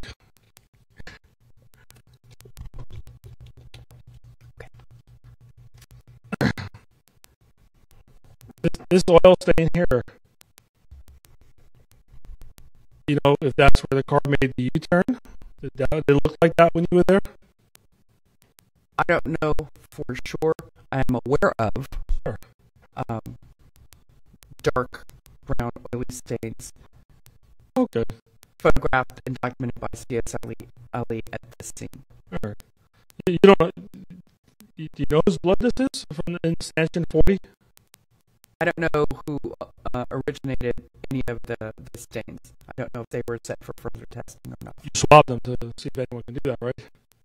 Okay.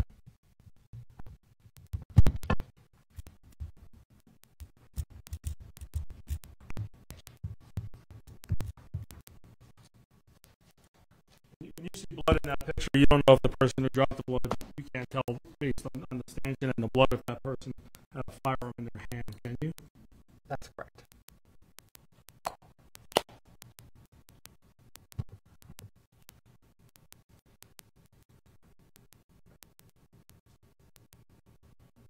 Was all the gunshots coming into this Cadillac consistent with going from right to left? I can't determine that.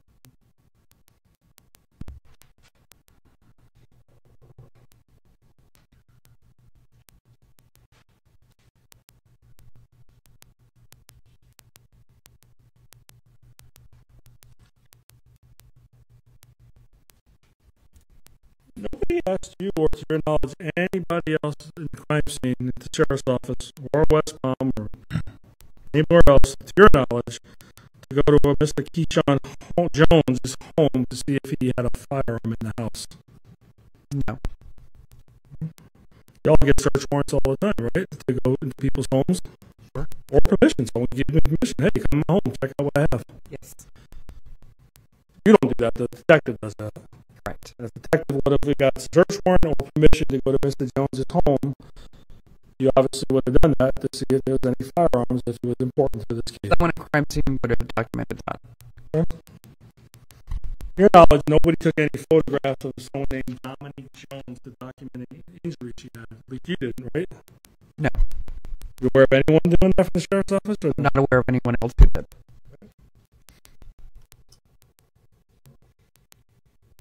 And I don't know if you did this or not, or the detectives normally do this. Um, who would check the neighbors for cameras and um, doorbell ring cams and things like that besides Typically, deputies would assist in doing a canvas, and the detectives would look as well.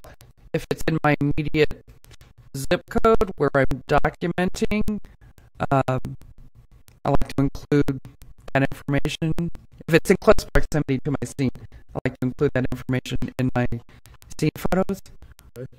Um, but this time, I wasn't aware that there were any neighborhood cameras that I needed to take into consideration, so I did not document any. the other officers would have told you, hey, go to this house, take photographs? If there was other cameras. Usually they, they do, if, especially if it was in close close proximity to the scene. How about where the uh, Cadillac parked? I know you weren't there and the car was gone when you got there. It was in 40th and Broadway, but you remember seeing a big oil stain across the street from that other photograph I showed you? Yes. And you know if any of the houses right near where that car was parked had any cameras? That I don't know. And you suspect they didn't, otherwise the deputies would have asked you to document them? Usually that's the norm. That's what happens.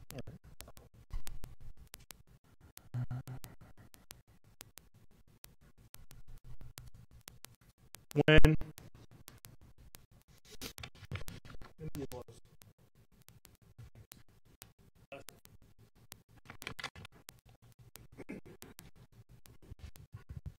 May I approach her? Hey. Show you state's exhibit number twenty-seven. Presented into evidence as what was in Mr. Sebastien, says contents of Sebastien's pockets, in parentheses, keys. Did you collect this? I did. You open that and show us, please.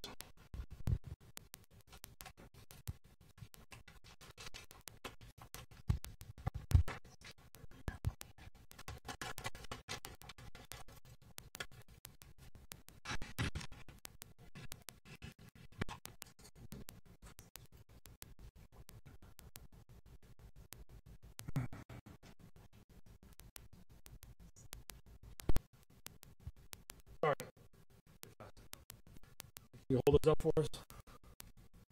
How would you describe what you're holding, ma'am? It's two keys, one of which has a Toyota insignia. A- anything else? And How would you describe the dimensions so the, so the record's clear? Approximately. I know you don't have a ruler. Just a rough, a rough estimate. Couple inches. Okay. So the Toyota one is it's the key fob, Right. um, and then an additional key, and I'm not sure what that's from. It's a door key. I don't know. Okay. You can put that back. I appreciate it. Thank you.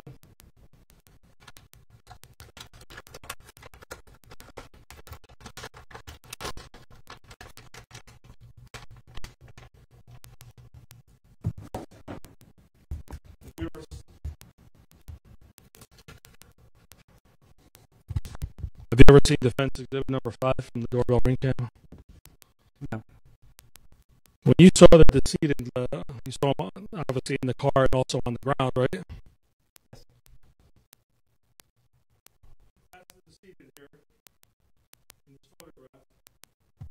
The white sweatshirt.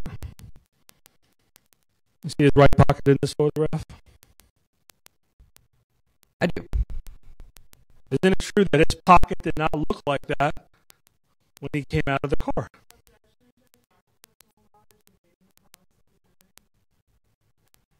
Overruled. Isn't that true? It did not look like that. No.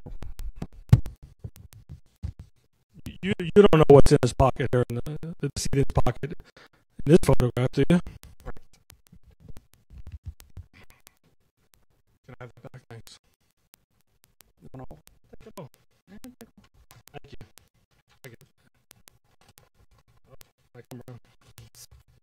Get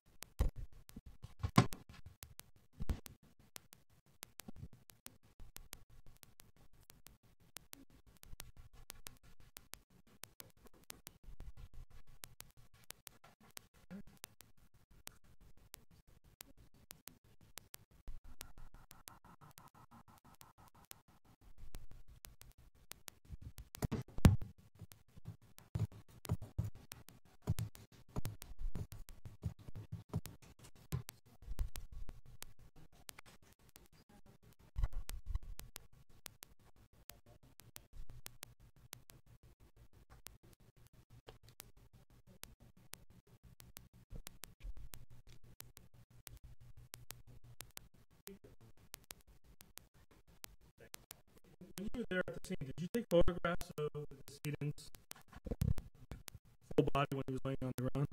Yes. And his, his pocket, his right pocket looked nothing like in that photograph while he was standing up in, in defense exhibit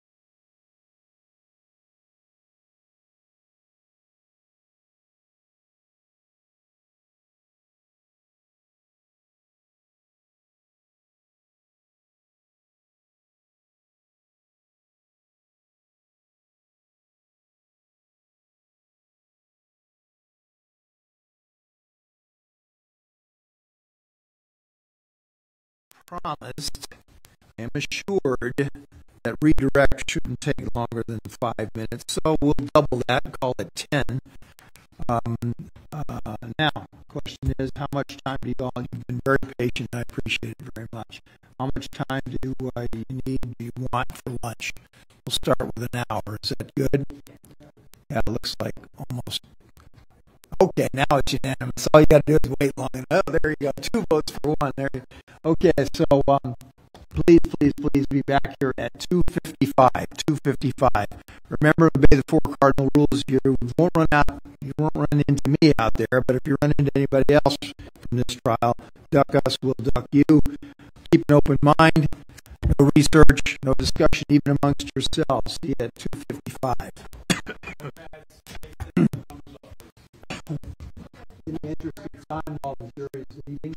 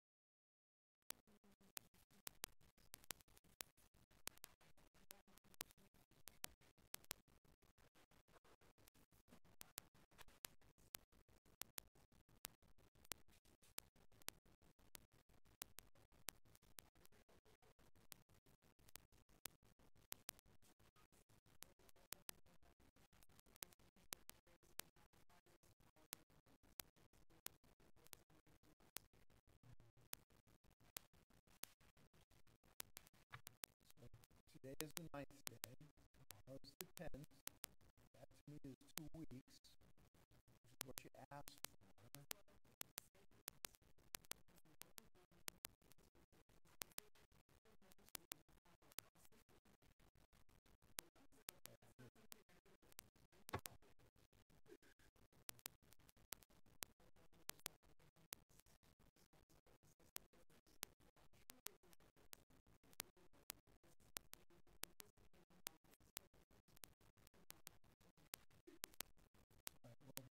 to both of those witnesses even if we have to stay late tonight. I hate to do that to the jury, but. All right, see you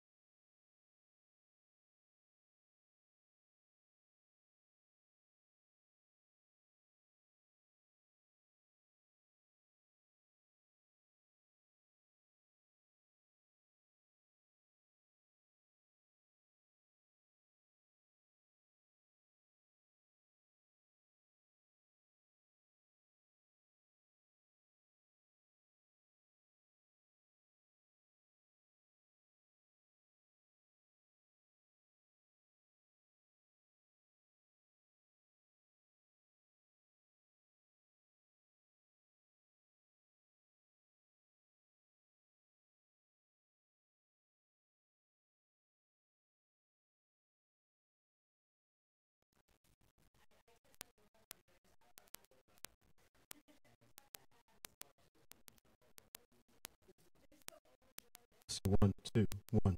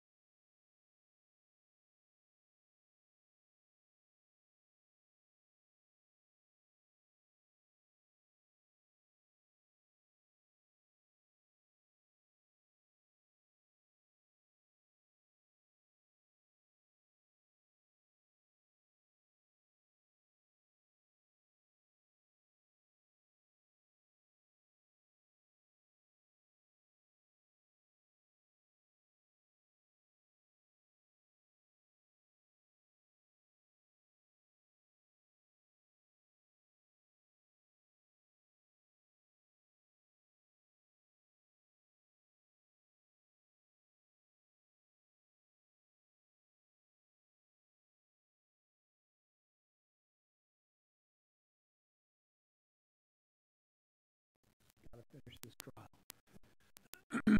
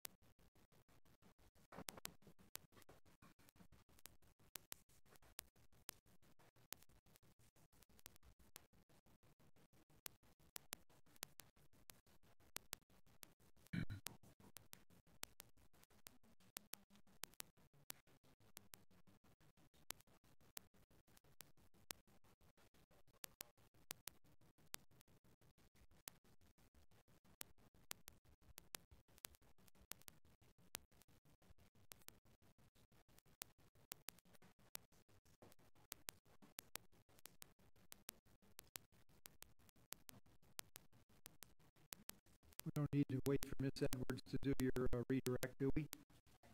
Did you get that, whatever it was you were waiting for? Did did you, did you bring up whatever it was they were looking for? Okay, perfect, okay. Mr. Clausy has it? Or who has it? Oh, Ms. Ellis has it, okay, good.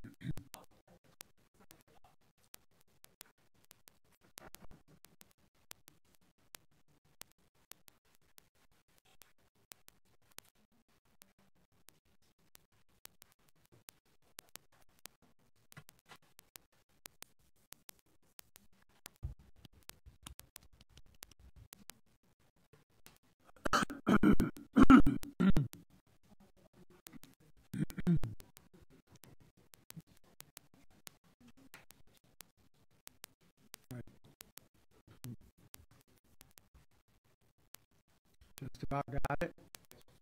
Okay, all right, good. All right, are we, uh, ready to bring the jury in? Okay,